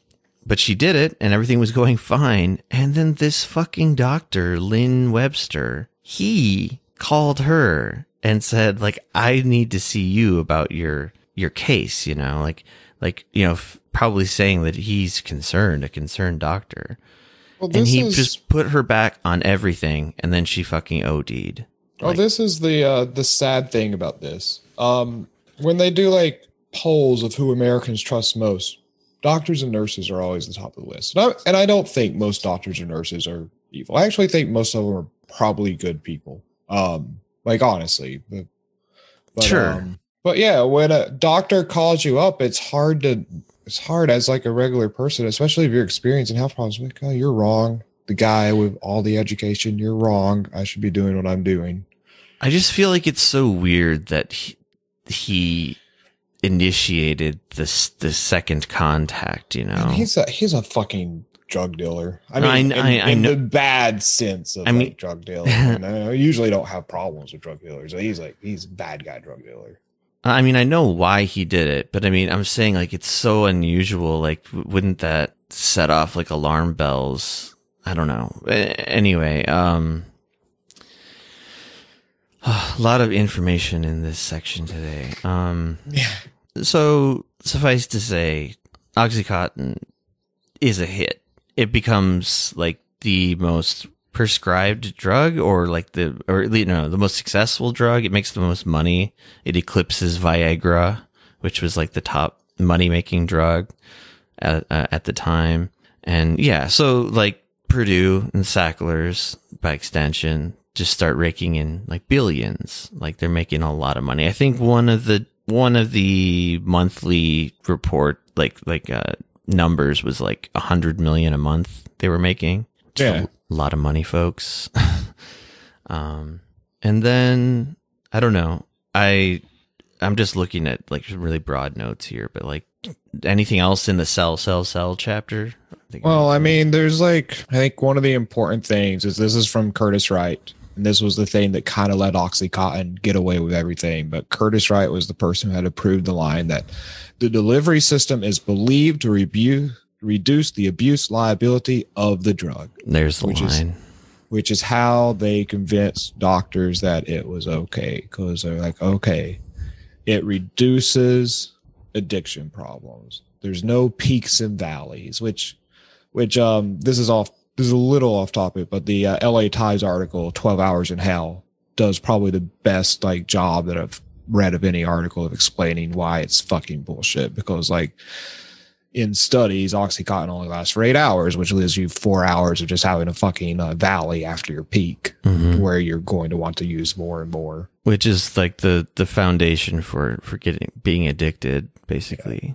The FDA, with this line, allows the uh, sales rep gives the Purdue sales reps the ammunition they need to like sell the drug um, with impunity. Yeah, I think I think that it's really important the um the 12 hour relief thing, the claim cuz that that was a huge part of their their ad campaign at least initially. Like I saw some pictures of some of the ads um they're in the movie as well, but like it's like a it's like an old couple like fly fishing like and Yep. then there's two little paper cups like the kind, you know, you would like put pills in or whatever, or, you know, take a pill with. So th- the whole point is implying like you only need to take a pill twice a day. Because I guess with other pain pills, you probably are taking more, more often because they, they wear off quicker or whatever. Um, but wait, did we already talk about this on the on the recording part, or was this before? So it's, I don't think we talked about it. Okay. Uh, anyway, the, like most people said that their relief was not for 12 hours. It was more like around eight, which, which means they were feeling withdrawal symptoms, which means they're going into exactly the same peaks and troughs. I think they call them. I mean, I don't know why, but peaks and valleys, um, thing that they say the whole the drug steers clear of, but it doesn't. Like it specifically is setting up those very things that it says it's not. Um, and like, yeah, this led to, to the doctors doing, well, this was another thing that the sales reps were, were, had hammered into their heads. It was like, uh, there was even a, a word for it, like titrate Yeah. like just ratchet up like the the dosage. Um, so like even the salespeople, if you got a doctor to prescribe like the 80 milligram pills instead of the 20 milligram pills, you would get like a bonus according like based on Yeah. milligrams. They were incentivized to get the doctors to prescribe as much as possible. They had no like sales cap for like a commission, which is Right. insane. I think it's like unheard of in most sales jobs. And so this like this this 12 hour relief lie, which, you know, I mean, even with, even if it was, even if it worked, like it, addiction doesn't work the way that they're claiming it does. We're like, well, if you don't have these peaks and valleys, what does that mean? Like you just remain like on the drug all the time? Like, just means that you're steady, that you never feel like withdrawal symptoms. So you never like want to do more than what's prescribed. that's impossible with opiates by the, the nature of opiates. Like, it's Sure. impossible. I mean, it's like time release cigarettes where the nicotine filters through your body all day. That's how I'm going to get rich. Um, I think there's a great line in here. Maybe I just like it, but um, where they're talking about the cells. Um, O'Keefe's like, um, physicians often scoff at the suggestion that their prescribing habits might be swayed by the uh, blandishments of pharmaceutical companies. This is talking about when all the sales reps would come in and really try to like convince the doctors to sell Mhm. their drugs, doing things like you know bringing them lunch or bringing them free samples, etc. And I'm going to skip some stuff, but then he goes on to say, but of course, there is no more true. That is, this is no more true today than it was when Arthur Sackler said it.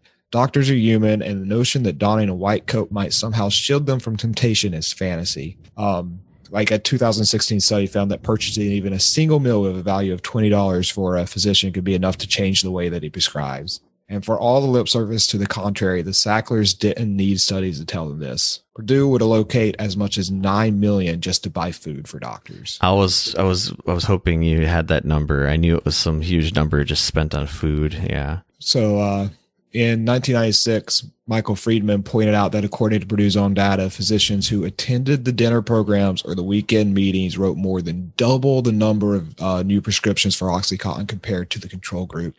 He noted that weekend meetings had the greatest impact, and even the physicians who took no handouts from the company proved to be highly susceptible to the message Purdue was promoting. The primary goal of medical practice is the relief of suffering. And one of the most common types of suffering that doctors see is pain. It's amazing to go on pain because pain is so subjective. Um, you've got to you've got a patient in pain, you've got a doctor who genuinely wants to help, and now suddenly you have an intervention that we are told is safe and effective. What the company was really selling, some of Purdue's marketing material suggested, was hope in a bottle. And yeah, this is the crux of it is pain's something that's really hard to answer. And they, they give hope. They were selling hope, which is often just the flip of despair, but whatever. Yeah. I mean, um, you know, I guess you could say, I mean, I don't know. I mean, sure, it's it it's a wonder drug for people in like like particular excruciating pain, but again, like the whole point is that they they wanted to go after everyone. Like if they if they had the choice to be like we can let all the all we can let the few people in excruciating end of life and cancer pain just let them suffer but then you can sell like 8 trillion oxycontin pills to people with headaches they would have done that you know? They didn't have any fucking noble like ideas behind what they were doing. Hope in a But- bottle. Fuck off. No, I mean, they sold it to the doctors as hope. no i um, know. I'm saying just fuck off purdue. You're This liars. chapter's this chapter's also the chapter that brings up the salesman Stephen May, who's the West Virginia salesman. Who yeah that, that's right who I think eventually turns against Purdue because, like, he I think a lot of these people didn't realize, especially some of the salespeople. Like, I do think that they, I thought, I think a lot of them really did believe that what Purdue was telling them was true and that they were selling, like, at first, like when it's first taken off. I think by the 2000s, everyone fucking knows. But I think the first batch of like salespeople were like, yeah, wow, we really are doing something good for the world, which makes it easier to sell. When you believe in your product, it's much easier to sell. Yeah, and the the the, the checks and the incentivizations don't don't hurt either. Um, Sure. But that that guy, um, May, Stephen May, yeah, he was one of their top salespeople, and um, I believe he left the company in like 2003. But in the documentary, he even says like he by 99 he was pretty sure something fucked up was going on, and he he was trying to get he was trying to be like a good person, and he he was Yeah, he was like emailing his bosses, being like, he was "Hey, we need emailing, to like- think about what we're doing." Yeah, he was emailing like the way upper level people, and and they would just respond like, you know, you're not a policeman. Just go sell more pills. Yeah. like essentially. Um, but yeah, he, you know, he did leave eventually. So I mean, good on him for that. Actually, like, think at the end of part one of the documentary, And it's hard He reads- fucking high paying job. I've never done it, but I imagine it's hard. I've, I'd have a hard time with it because I've never had a high paying job. Um, sorry. he's he's the guy who reads he reads a poem at the end of the doc, of, of like one of the parts of the documentary. Yeah, I think part one. about how terrible um, Purdue was is. Yeah. But we should move on to the next chapter, I think.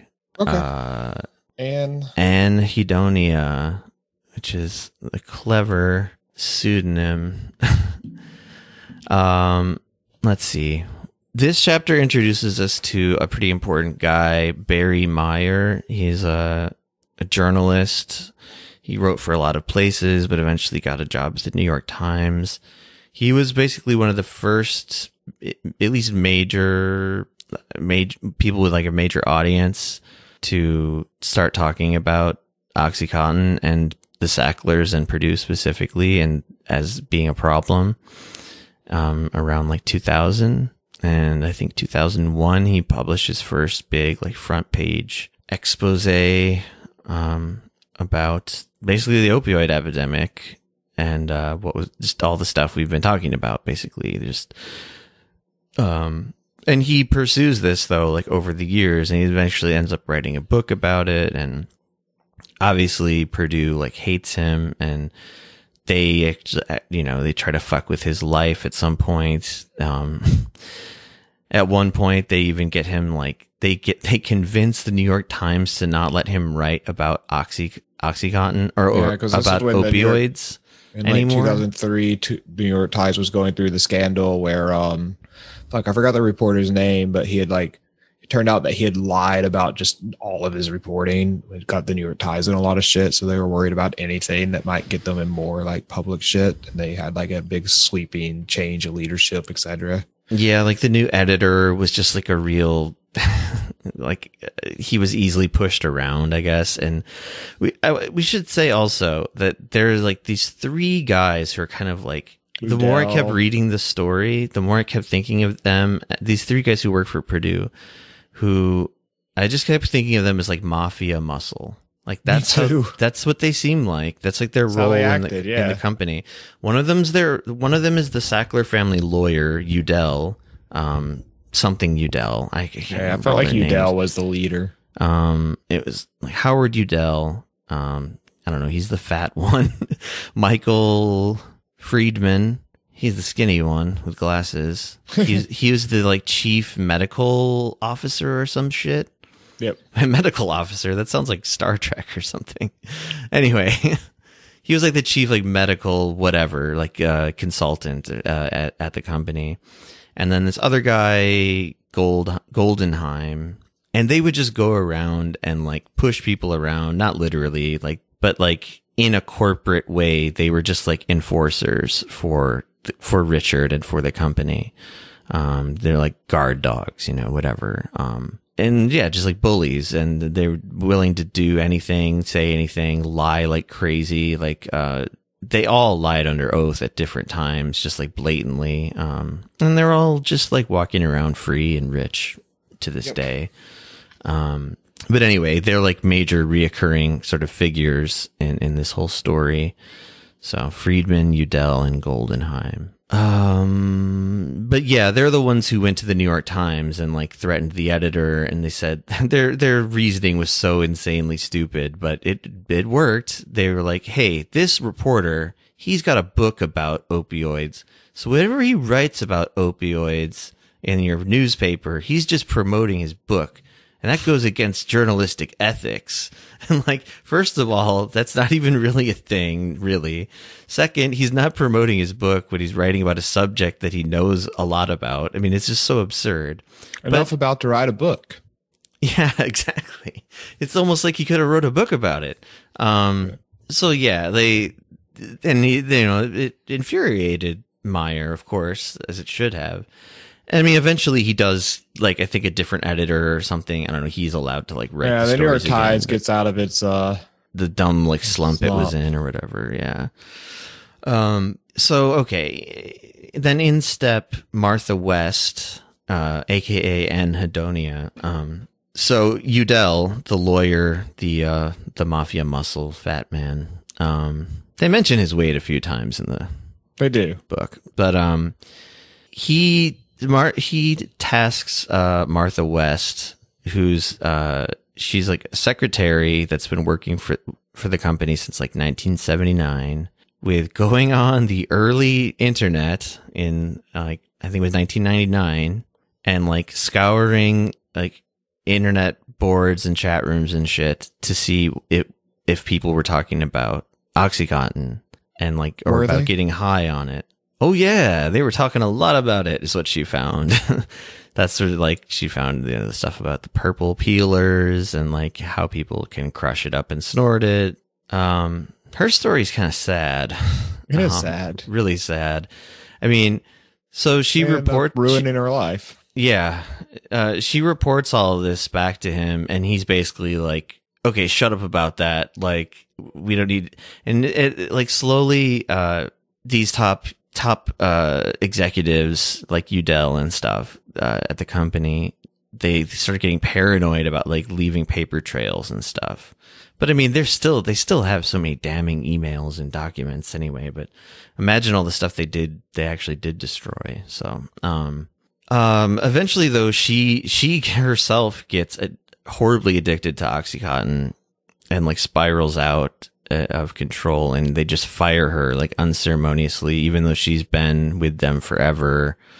And they're just like get your junky ass out of our building. And then she sues them and they just like savage her even more in court and she loses. They just like they impugn her like credibility like weren't you like an alcoholic before you uh took oxycontin Didn't stuff? you try speed one time in college? yeah, yeah. I think that might have been the other lady. They do the Yeah, same thing. the They do the same thing to another person as to a salesperson who sues them, um, who quits, um, because she doesn't want to push oxy oxycontin on doctors who don't want to sell it, and so on.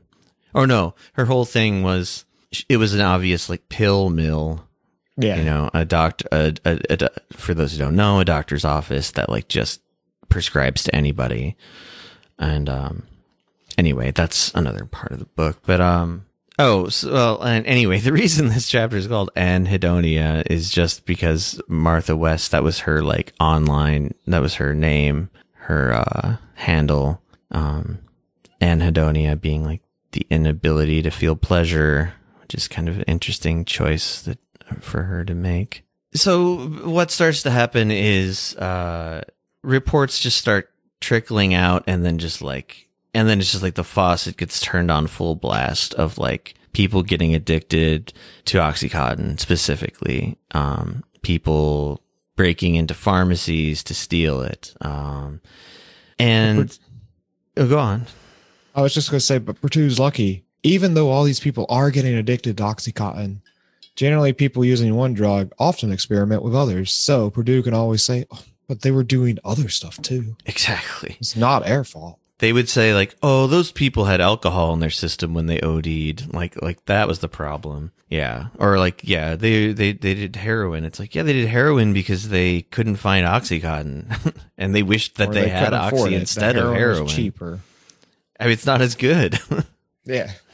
Um, this at this point in the book, well, I don't know. I'm just seeing a note here, but I just wrote Richard Sackler is a repugnant, whiny brat because this is when he he's just starts getting like furious that people are like uh making these accusations against his wonderful company and his wonderful drug, and he's just a real big baby about it and a real asshole.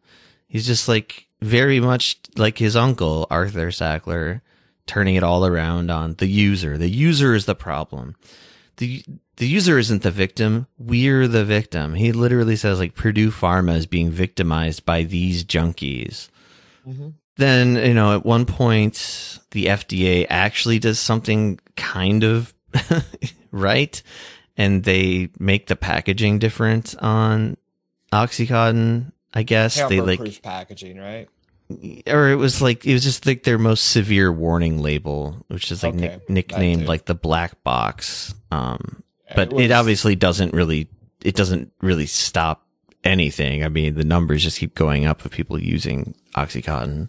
Tamper proof packaging was Purdue's effort to curb people from misusing it. Tamper-proof uh, prescription pads. That's it. That's what I was looking for. Yeah, people were stealing prescription pads at that point. Yeah, they they made like this. They made two really lame gestures when they finally. It took forever for them to finally even admit that people were abusing um, oxycontin. Like they, this this becomes important when in like legal cases and stuff later. But like it's proven that like people in the upper levels, including Richard himself, Richard Sackler himself, They know shit from like 96 onward. They know shit from even before then. They knew it from MS Contin. Exactly. They they knew that people were abusing their morphine pills before. They knew people were abusing uh, the oxycontin, and of course they did.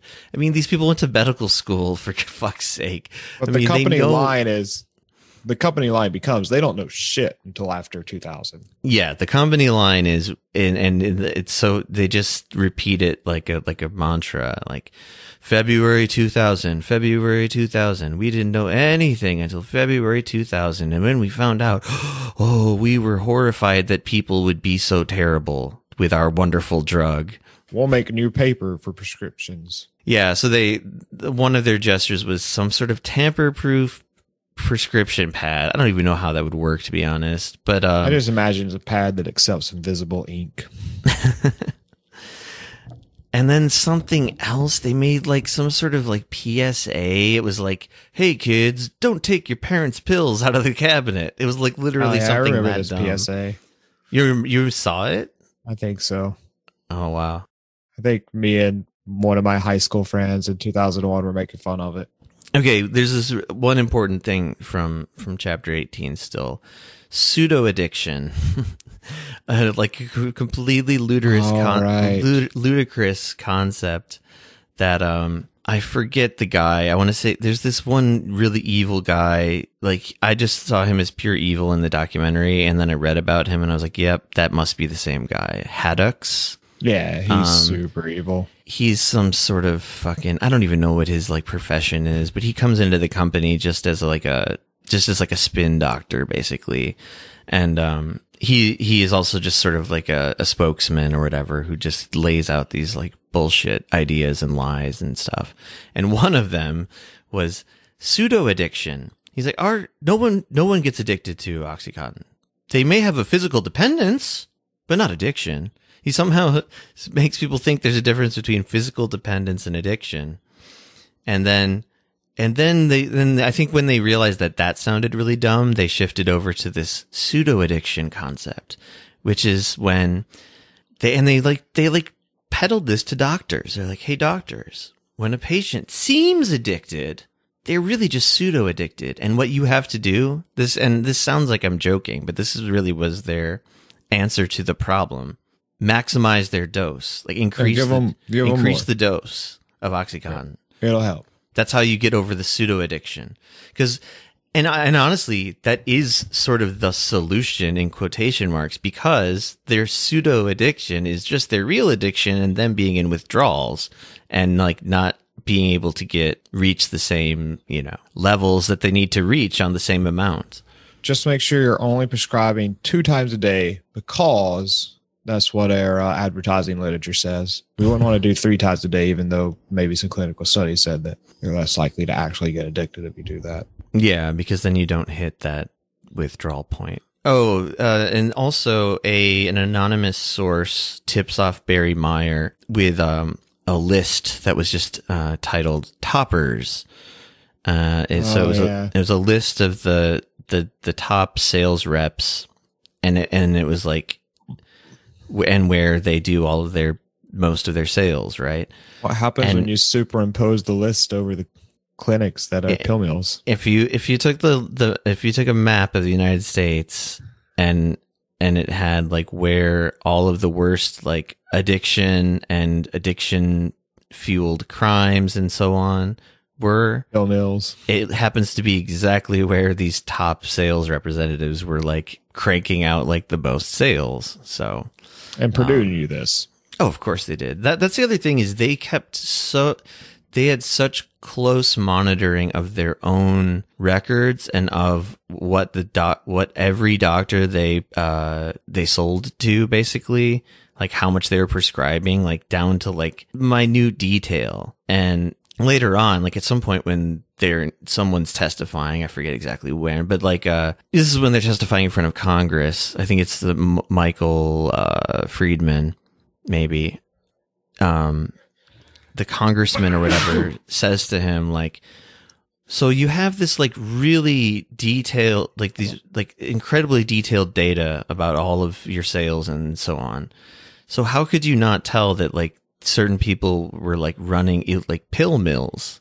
Like and they just keep saying like well we're not in the room with them like we don't we don't know like how they're practicing medicine it's like you don't have to like you can see that for like a town like if if a doctor is living in a small town and they're seeing like 80 patients a day and prescribing huge amounts of Oxycontin to them, it's obviously not for um, therapeutic use, you know? Yeah. So, yeah. Um, Pablo Escobar of the New Millennium. I don't know what happens in that chapter. That this the chapter name comes from what like an actual friend or it doesn't seem seems like they probably weren't friends after this, but someone that um Richard Sackler was like confiding in or bitching to more likely actually like through email um about like these junkies are trying to like destroy my empire. And this guy wrote back like I don't think that's true and I think when you're not so pissed off you know that's not true. And um lays out like really common sense stuff which Rich, Richard Sackler just dismisses. He's like Pisses him off. he's like he's like this like poor people in like the backwoods of Kentucky or whatever he he uses an example something like that like they don't have time to be quote like upright citizens of or whatever he, he or, like to worry about being Earth. dutiful citizens of of their society. Um they're struggling. These people struggle and you know he's trying to like he's trying to like make an argument from empathy to like to the least empathetic man on on earth and yeah it just pisses off richard sackler more but eventually like this guy in in uh the email says like if you keep this up something like that you'll be the next you'll be the pablo escobar of the new millennium He's much worse than Pablo Escobar. yeah probably i mean i'd have to compare the charts and whatnot but I'm sure he is.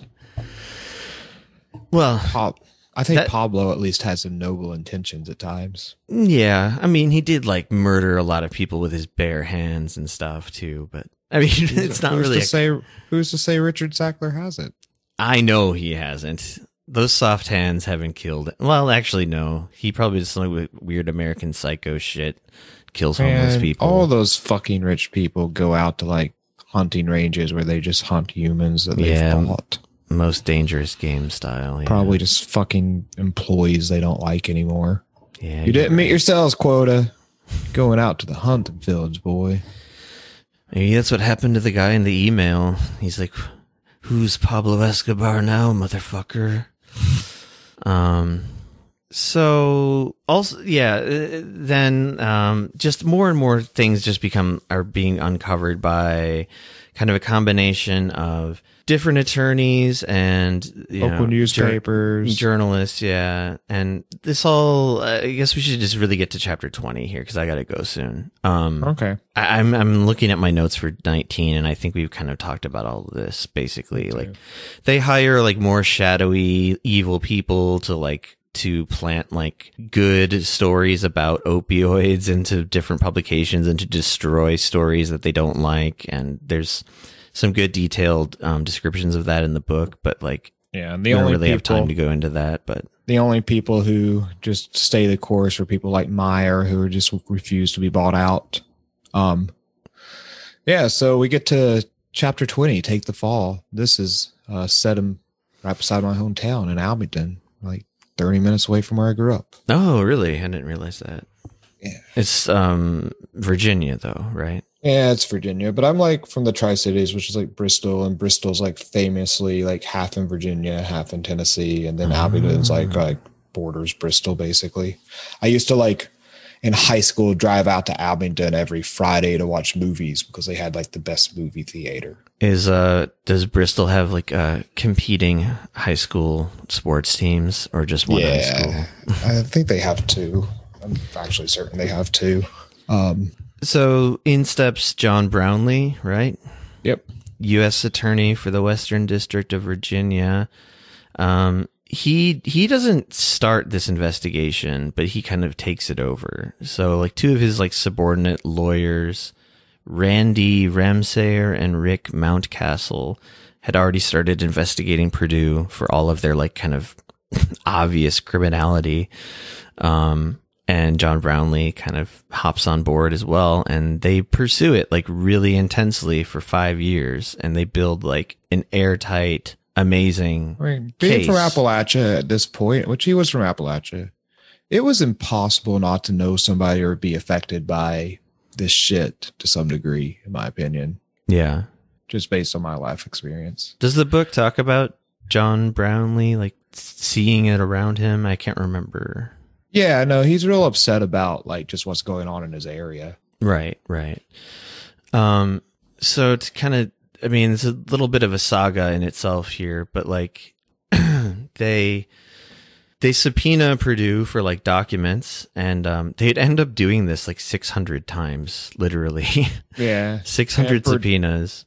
And Um, Purdue goes through the like, well, I mean, they end up with 600 subpoenas because what happens? The first one, they're expecting it. Purdue's like, okay, we'll send you all the documents. And I guess what's generally the case here, the prosecutor is subpoenaing you for documents. You just send them literally everything, every like receipt, just like what they filled like a warehouse full of the amount of papers they sent. It's just like, I've got it written a thousand, or at least this was just at one point. I don't know if this probably wasn't even the total, but um, there was a picture and it was it was a thousand boxes, and there were just millions of pages of documents.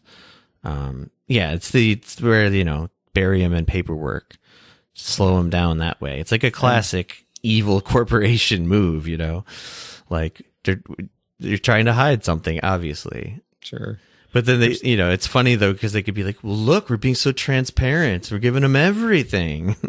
Yeah, and the prosecutors are expecting it. So they come up with a system to catalog it and they work around the clock basically to catalog. And as they find interesting stuff, they subpoena for more like um more specific documents. Right. Which is like their strategy. That's how it ends up being like 600 because they like narrow stuff down and start subpoenaing for like, okay, we want like this quarterly or we want this like this fall about blah blah blah, right? and then they're getting, you know, emails and uh, they did tons of interviews with um like sales reps and, and and employees as well. I think they said like something like 300 interviews.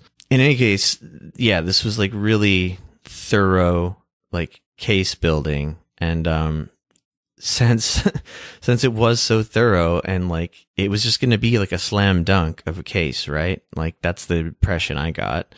Um, Oh, yeah, I so mean- Purdue's lawyers, of course, are like, well, then here's what we do: we just don't even let this thing go to court. We, We, try go to over their it. heads. Yeah. So who do they go see, man? they go see our podcast favorite, Comey, James Comey. Yeah, Yeah. they want to. They he was, yeah, he was Was the he was the head of the DOJ at the time. I guess. At this point of the book, I'm like, oh god, is he gonna fuck this shit up too? he doesn't actually, but um, this time he actually tells Brownlee to keep pursuing the case, but Well- um. But I think it was because James was confused. I think that he really thought that he was visited by the chicken company. Purdue well, you know what's funny about that is that I didn't know the Purdue company, the this the drug Purdue company until like you told me about them. Like I don't know when we I guess- started the podcast. Yeah. Because I think I said the same thing to you. I was like, "Oh, you mean the chicken people?" you were like, I think "You were like, no, I'm talking about like one of the most evil families in the world." I was like, I think The they chicken people? Ja- James, like Udell and the other three, and James got his head. Fucking chicken people. Why the fuck are we going after them? And then like Brownlee comes in and is like, no, no, no. They're they're calling the opioid epidemic, and he's like, oh, they didn't tell me that. Fuck. Yeah, we should do something about that. Right. Yeah. So yeah, you you and I had the same like sort of like holding our breath moment while reading that. It was like in steps James Comey. It's like, oh shit, is he gonna fuck up their case? But no, he doesn't. Um. They fuck it up other ways though. Yeah. I mean, they do. They never truly go to court, I guess. Um. Because what happens then ultimately is well before before that, there's a couple other things that happen in the chapter. So like we haven't mentioned this at all yet, but there's this um, promo video that was like had a big part in the as like propaganda. Yeah. for for um, OxyContin and for Purdue itself called "I Got My Life Back," Yep. which was basically like a bunch of people saying like OxyContin is awesome and it saved my life, and um, like Purdue was so proud of this video, and they they made it right. They definitely made it. Yeah, they- um, They made it. but didn't they? Pre- didn't they Steve. pretend like they didn't make it at first? I feel like I Um, got that impression. I'm not sure. Maybe they did. Because they that's the type of shit that they do all the time. I mean, It's they like- might have had like one of their medical journals that they own make it. That's what I'm saying. Is like, yeah, when they like when they cite studies that are just studies that like I can't some remember that some- they paid for. But there's Yeah. there's some so like that the the that promotional promo video is brought up like you know early on in the book, but like it's brought up again later in this part, and but it's to say that like it wasn't all um that it seemed it might have been.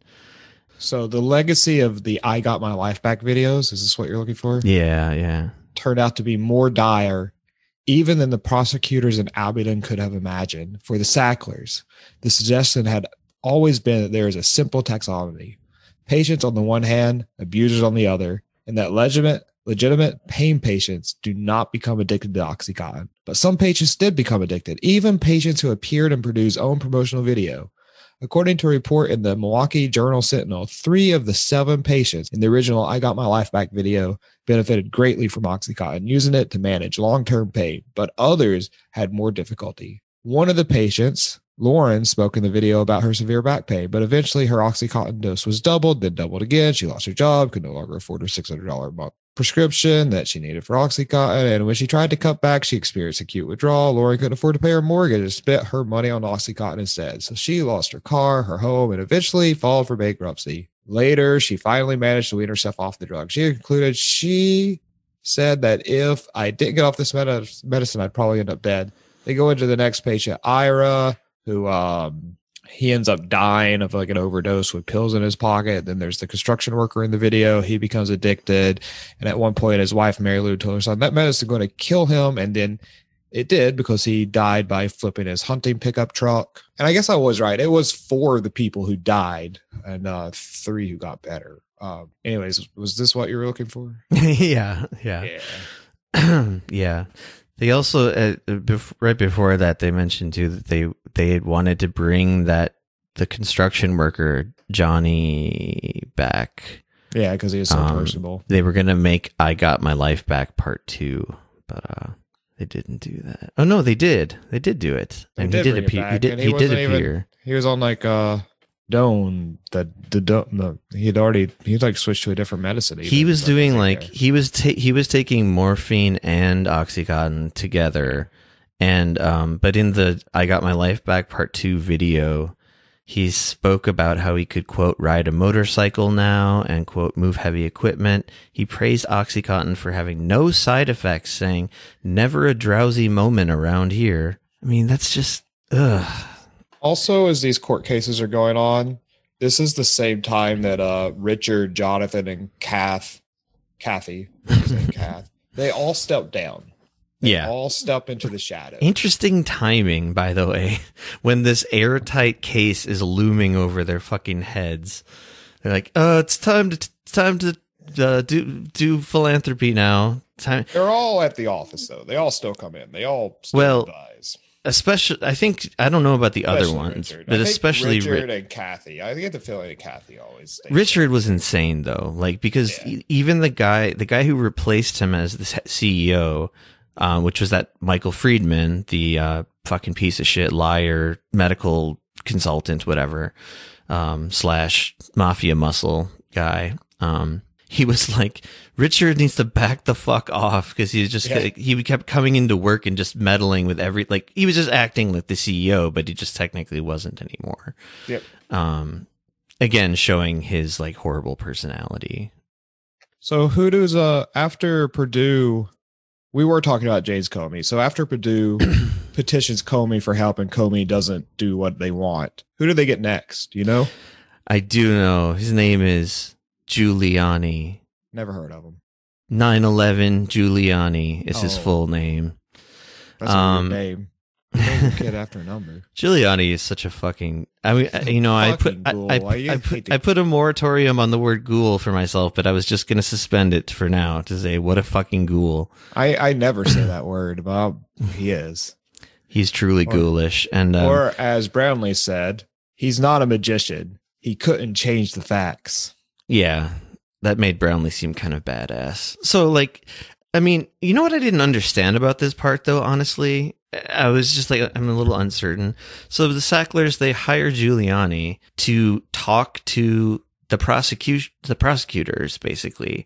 Well, But- what they but- want to do with Brownlee, Brownlee, you know, he was appointed as district attorney by Bush, and Brownlee is a politics guy. He wants to get into politics, and what they've usually been successful with is these type of people. They just end up buying them out. So Giuliani's like, he's at this time, fucking like, he's the Republican to go to. He's probably going to be the next like presidential candidate after Bush, like, figure does his like you know second term or whatever. Yeah, there were rumblings about that.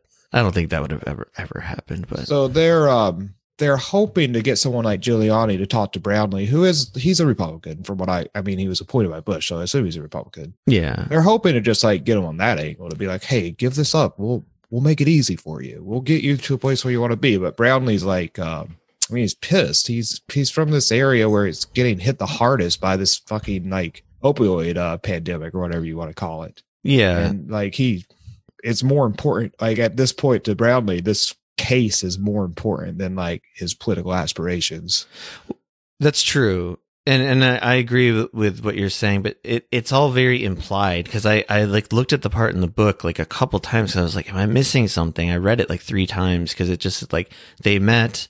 Brownlee wasn't convinced of anything, but it didn't say what he was Yeah. trying to be convinced of. I mean, I, I, guess think he was trying to be convinced of just letting it go. so letting it go, but up like in in like a transactional way. Like if you drop this thing, you know, we'll help out your political career. I guess that's what it was. yeah, that's that's how I read it. But the other thing Mhm. about Brownlee is that he was very he was like he really liked the spotlight apparently.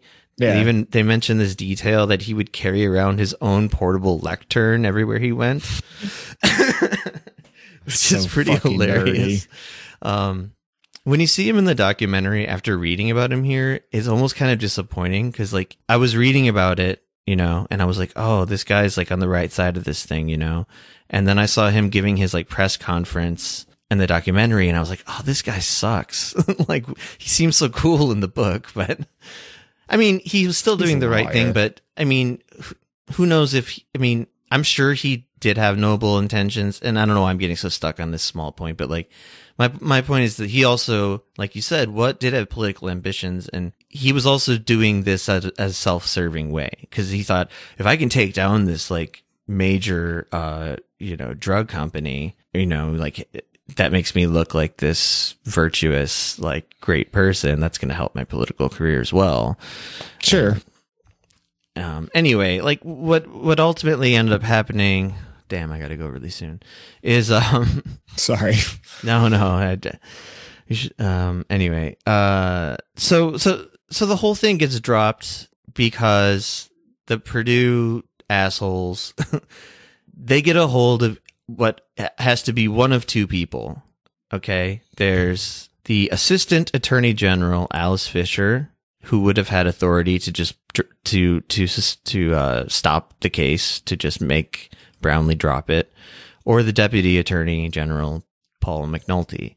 It doesn't completely get dropped. What happens is they get Mary Jo White to go to these people, and basically, um, Brownlee, what he wants to do is um, get Udell and the other two goons with uh, felony charges, so that maybe they'll crack and uh, give up the family. Uh, they go and basically uh, get the attorney general or someone in the attorney general's office. to Be like, can't do that. The best you can do is give them misdemeanor charges. We don't even really want to give them misdemeanor charges. So Brownlee has to settle on it. It's like literally all he's allowed to do. And they get the charges. They they And- don't uh, they don't throw the case out, but like in effect, they might as well have. They take the charges and um, they take the fall for the Sacklers. The Sacklers are never involved.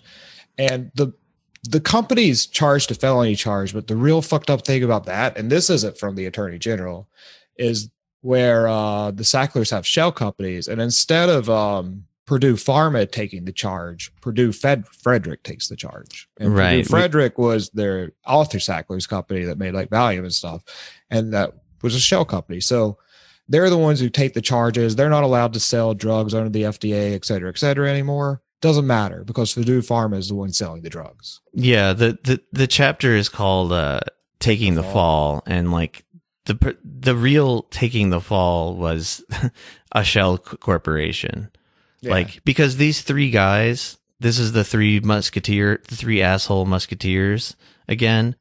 he- here's here's here's the ultimate um, justice that happened. The company was was ordered to pay a six hundred million dollar fine, which um, Pennies. I don't have enough time, but like it's quote like people are quoted in emails and stuff who work for Purdue, literally saying that's a speeding ticket. Like this is nothing, because it is. Look at their net It's worth; pennies, it's yeah. nothing. And then then they they tacked on thirty four million dollars specifically that the three assholes had to pay. And of course, that was just paid for by the company. And then not only that, the company rewards the three assholes, well, two of them at least, by giving them uh, a three million dollar raise and a five million dollar raise uh, for Oh, their no, for I their suffering. They didn't get a raise. They got they just got paid that money. Okay, bonus, whatever. Yeah, they bonus. Left, they left the company and like to take the fall. There's like, don't worry, you can't work for us anymore. We'll we'll make sure you're comfortable forever. Oh, I didn't. I, didn't even. I mean, I guess of yeah, course they were they, left the company, take the but misdemeanor. Yeah, they they left the company afterwards um, because they got charged with misdemeanors and stuff. And they had, were shamed, yeah, but they were just paid off handsomely. They're they're fall guys for the mafia. Yeah. But the thing is, is their fall is just like not a fall. that's my, that's what I'm trying to get at is like, oh man, I got $5 million and never have to work again. I really took one for the team. I mean, yes, technically they took the fall for the company, but you know what I mean? Like they, no, no suffering. So um, let's see. After all this happened, the same month that they paid Udell five million, the Sacklers voted to pay themselves three hundred twenty-five million, and like parents talk to them, et cetera, et cetera, tell about their kids dying, and um, they eventually find Richard Sackler, and under oath, when he's um asked whether there had been anything in the document in the way of corporate misconduct, it surprised him. He seemed curiously unprepared to answer, and he says, "No, I can't say. I don't think so." And as we sit here today, have you ever read the entire document? An attorney asked, and he's like, "No, no." It's like he hasn't read the document. He doesn't care about these people. Richard. No, not at all. And the thing is, is like, it's not like he's um like a lazy rich guy. He's like really obsessive about Oh, yeah. oxycontin. Right after the court case, um, shortly after the settlement in Virginia, the Sacklers voted to expand Purdue's sales force by hiring 100 additional reps. It was time Yeah. to get back to selling Oxycontin. As for the agreed statement of facts, the recitation of Purdue's misdeeds, which had been negotiated and such, um, care by all the attorneys for the company and the Department of Justice was meant to form the basis of Purdue's good behavior moving forward on the ninth floor headquarters of Stamford. It was not taken seriously. Yeah, none of it was taken seriously. They just got out of all of it. They they bought fucking officials. They bought the the uh, attorney general, Yeah. and that's rich people. So and and yeah i mean in the in the the conference with brownlee um in the documentary the one of the reporters just asks him like so wait did they're still making oxycontin and the guy's like well yeah just like because he's trying to sound triumphant like they had to pay 600 million dollars and I everyone's just kind of like crickets you know I, and I think he knew he was defeated. he Like, did, I- but like you know, he's tr- he's also being like this the kind of showman, whatever. Like he's trying to make it true. seem like it was it was some some modicum Some of victory, justice, yeah. but like it's not at all. And and it, it actually, you know, it's almost it's almost worse than not doing anything at all. You know why? Because like it just sets the precedent to all other companies and to that company itself that yeah, you can fuck around and just this is look at what happens. A speeding ticket. And Yeah. and this is in like I don't every- think it's Brownlee's fault. He doesn't have anything to do with this. no, no, I'm, I'm just, I'm, I'm raging at like the larger thing of like the, when that happens to ExxonMobil for fucking oil spills and, you know, like all, everything you can imagine when, when a company actually gets taken to task in any way and all it is is a speeding ticket. Like, yeah. I mean, I guess like next week we can, we can revel in the fact that, politics. well, you can revel in the fact that the fucking fentanyl company like crashes and burns at least, but they just didn't have the right political connections. Is the probably Sacklers why. haven't really went away though. I mean, no, not at all. I mean, OxyContin is still, from what I understand, like I mean, people understand what it is more now, and doctors don't prescribe it as wildly. I'm pretty sure, but like now it just I don't know. Actually, I don't. I, I should probably research what the state of it is now. It's probably Sure, talked. we'll, we'll learn more about it in the next part. Yeah. next episode we'll talk about in the it. book. Um, but yeah. Um, wanna- any final thoughts? I gotta go soon. fuck rich people. It's a, it's a, it's if you want a good argument for why money has to be taken out of fucking politics, this is this is reading this type of book and just seeing how much sway they have. Like laws do not matter to these people. They exist in an entire different like world than normal people. And um how the fuck are we ever supposed to combat this like this type of monstrosity? And most people celebrate it. Gotta love So- that free market innovation. If we didn't have the free market, we wouldn't have time release coating on pills, man. I don't want to live in a world without that. I'm sure we would. um all right. Uh I guess I will recommend something really quickly. While I was reading this these 10 or 11 chapters whatever it was, um I was listening to Tobacco I like them. and his album Fucked Up Friends. And I also listened to Black uh, Black Moth Race. What? Super Rainbow. Super Rainbow. Um, which I've recommended on the podcast before, but I want to specifically recommend their album Start a People. I think it's called. really good one. That one is, I didn't realize how good that one was until the last couple days, but like, that might be my favorite one now.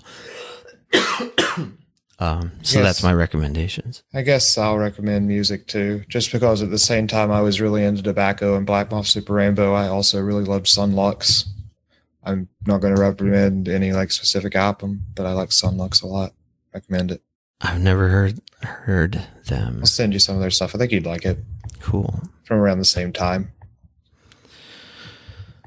Okay, hmm. so heatdeathpod.com at heatdeathpod Twitter. I got to go to work. Okay, I'll, talk I'll to see you later. Josh. All right, I'll send you this audio. Okay. The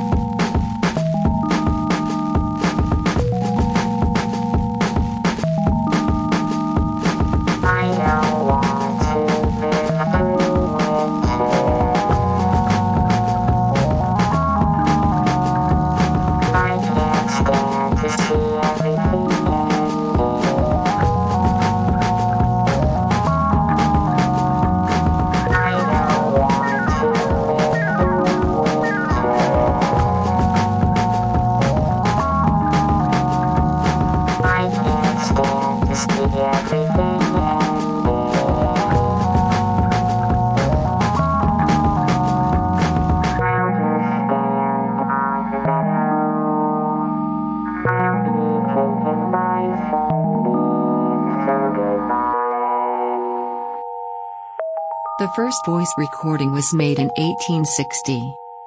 It was a 10 second fragment of the French folk song Au clair de la lune recorded by inventor Edward Leon Scott de Martinville. But who will make the final voice recording and when? What will it be? Who will hear it?